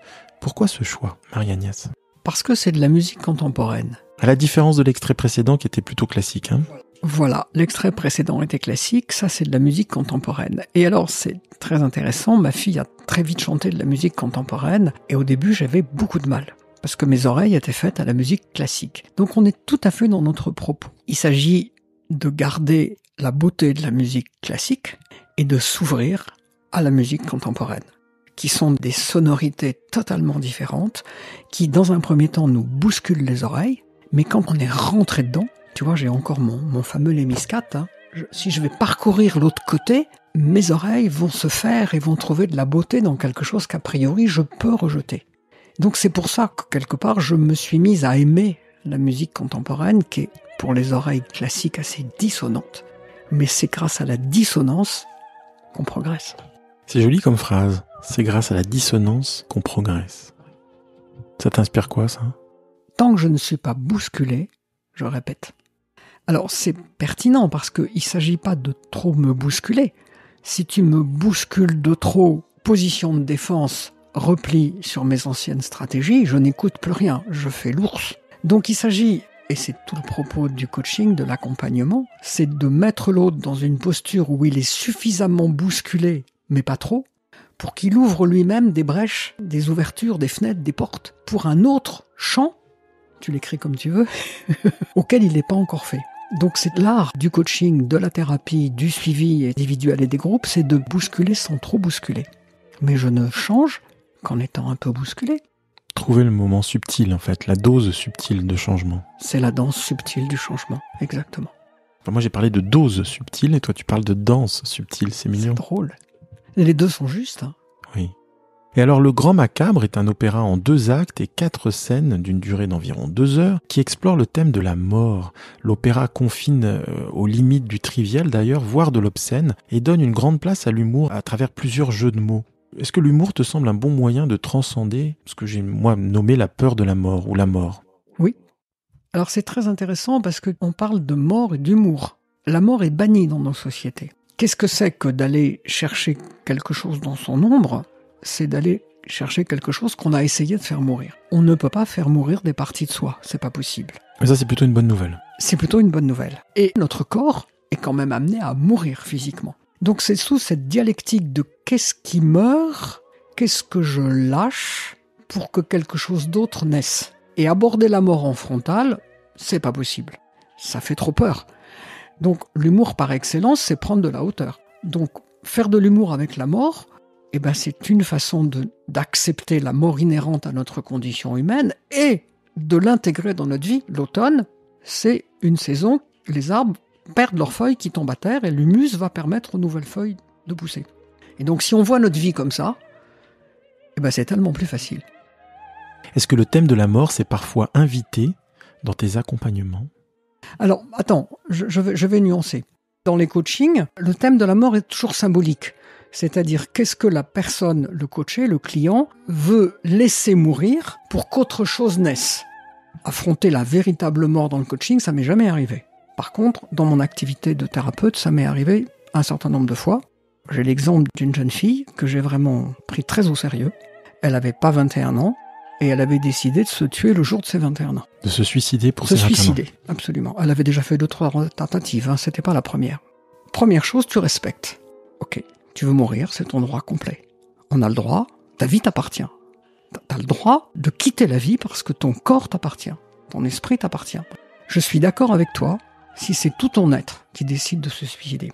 Autrement dit, dans le langage du dialogue intérieur, si c'est de ta posture de moi conscient, si c'est pas une espèce d'énergie psychique qui a trop souffert, si c'est une partie de toi qui prend le pouvoir et qui décide de supprimer l'ensemble, là il y a mal donne.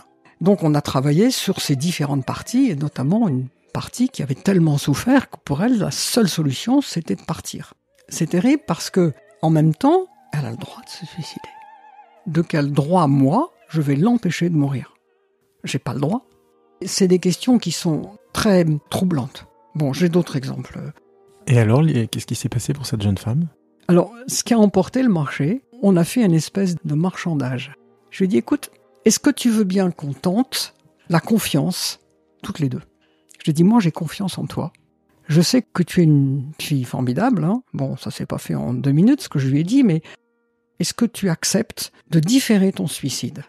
Qu'on ait un peu le temps de travailler davantage. Je te demande seulement de le différer de six mois. Et moi, je crois en toi, j'ai confiance en toi, et je te lâcherai pas. Ça a marché. Ça a marché. Elle a quel âge aujourd'hui? Elle a 26 ans. C'est magnifique.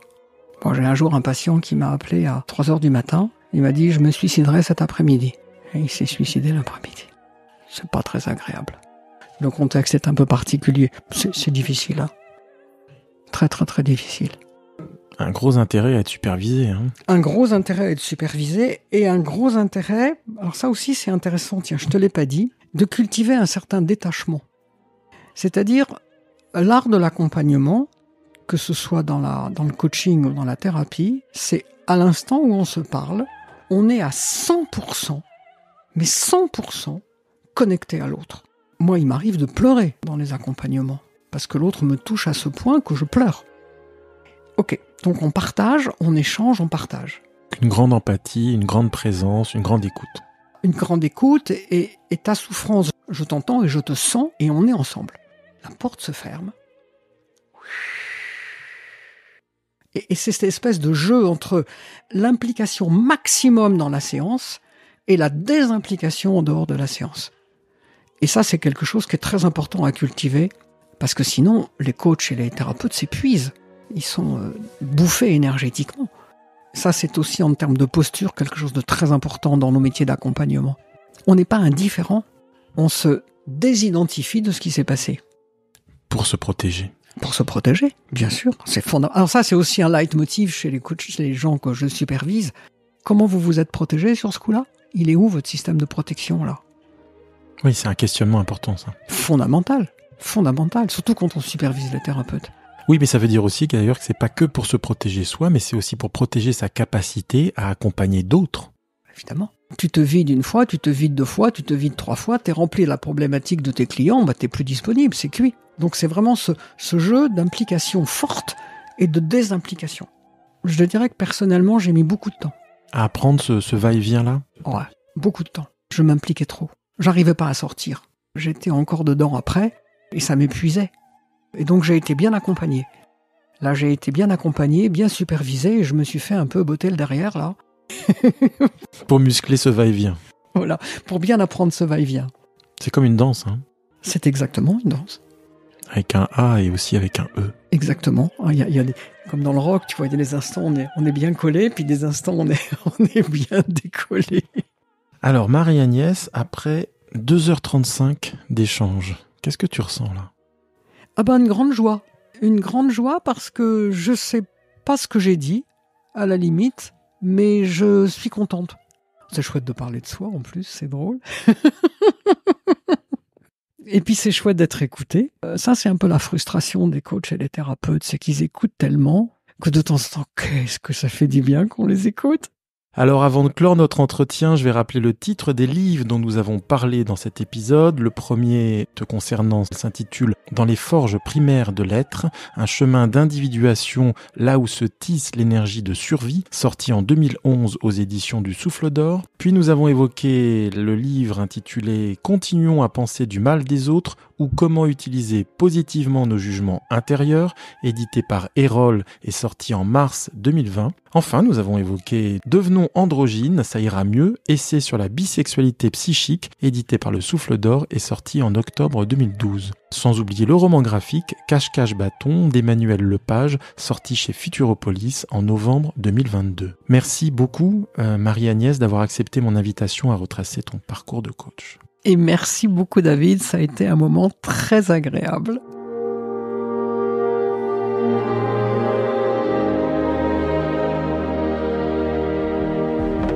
Parcours de coach. Merci pour votre écoute. Découvrez nos deux séries de podcasts intitulées Parcours de coach et Un coach à la une sur le site www.lemediadescoach.com. Si vous avez apprécié cet épisode, s'il vous plaît notez-le favorablement sur la plateforme d'écoute ou l'application que vous utilisez. Cela nous aide à développer la notoriété de nos productions. Par ailleurs, vous pouvez liker, commenter ou repartager nos épisodes sur les différents réseaux sociaux où nous sommes présents. Nouveauté, vous pouvez soutenir le média des coachs via une plateforme de financement pour nous permettre de poursuivre la production et financer de nouveaux projets. À très bientôt pour un nouvel épisode. Parcours de coach, une série créée par David Marion et produite par le Média des coachs.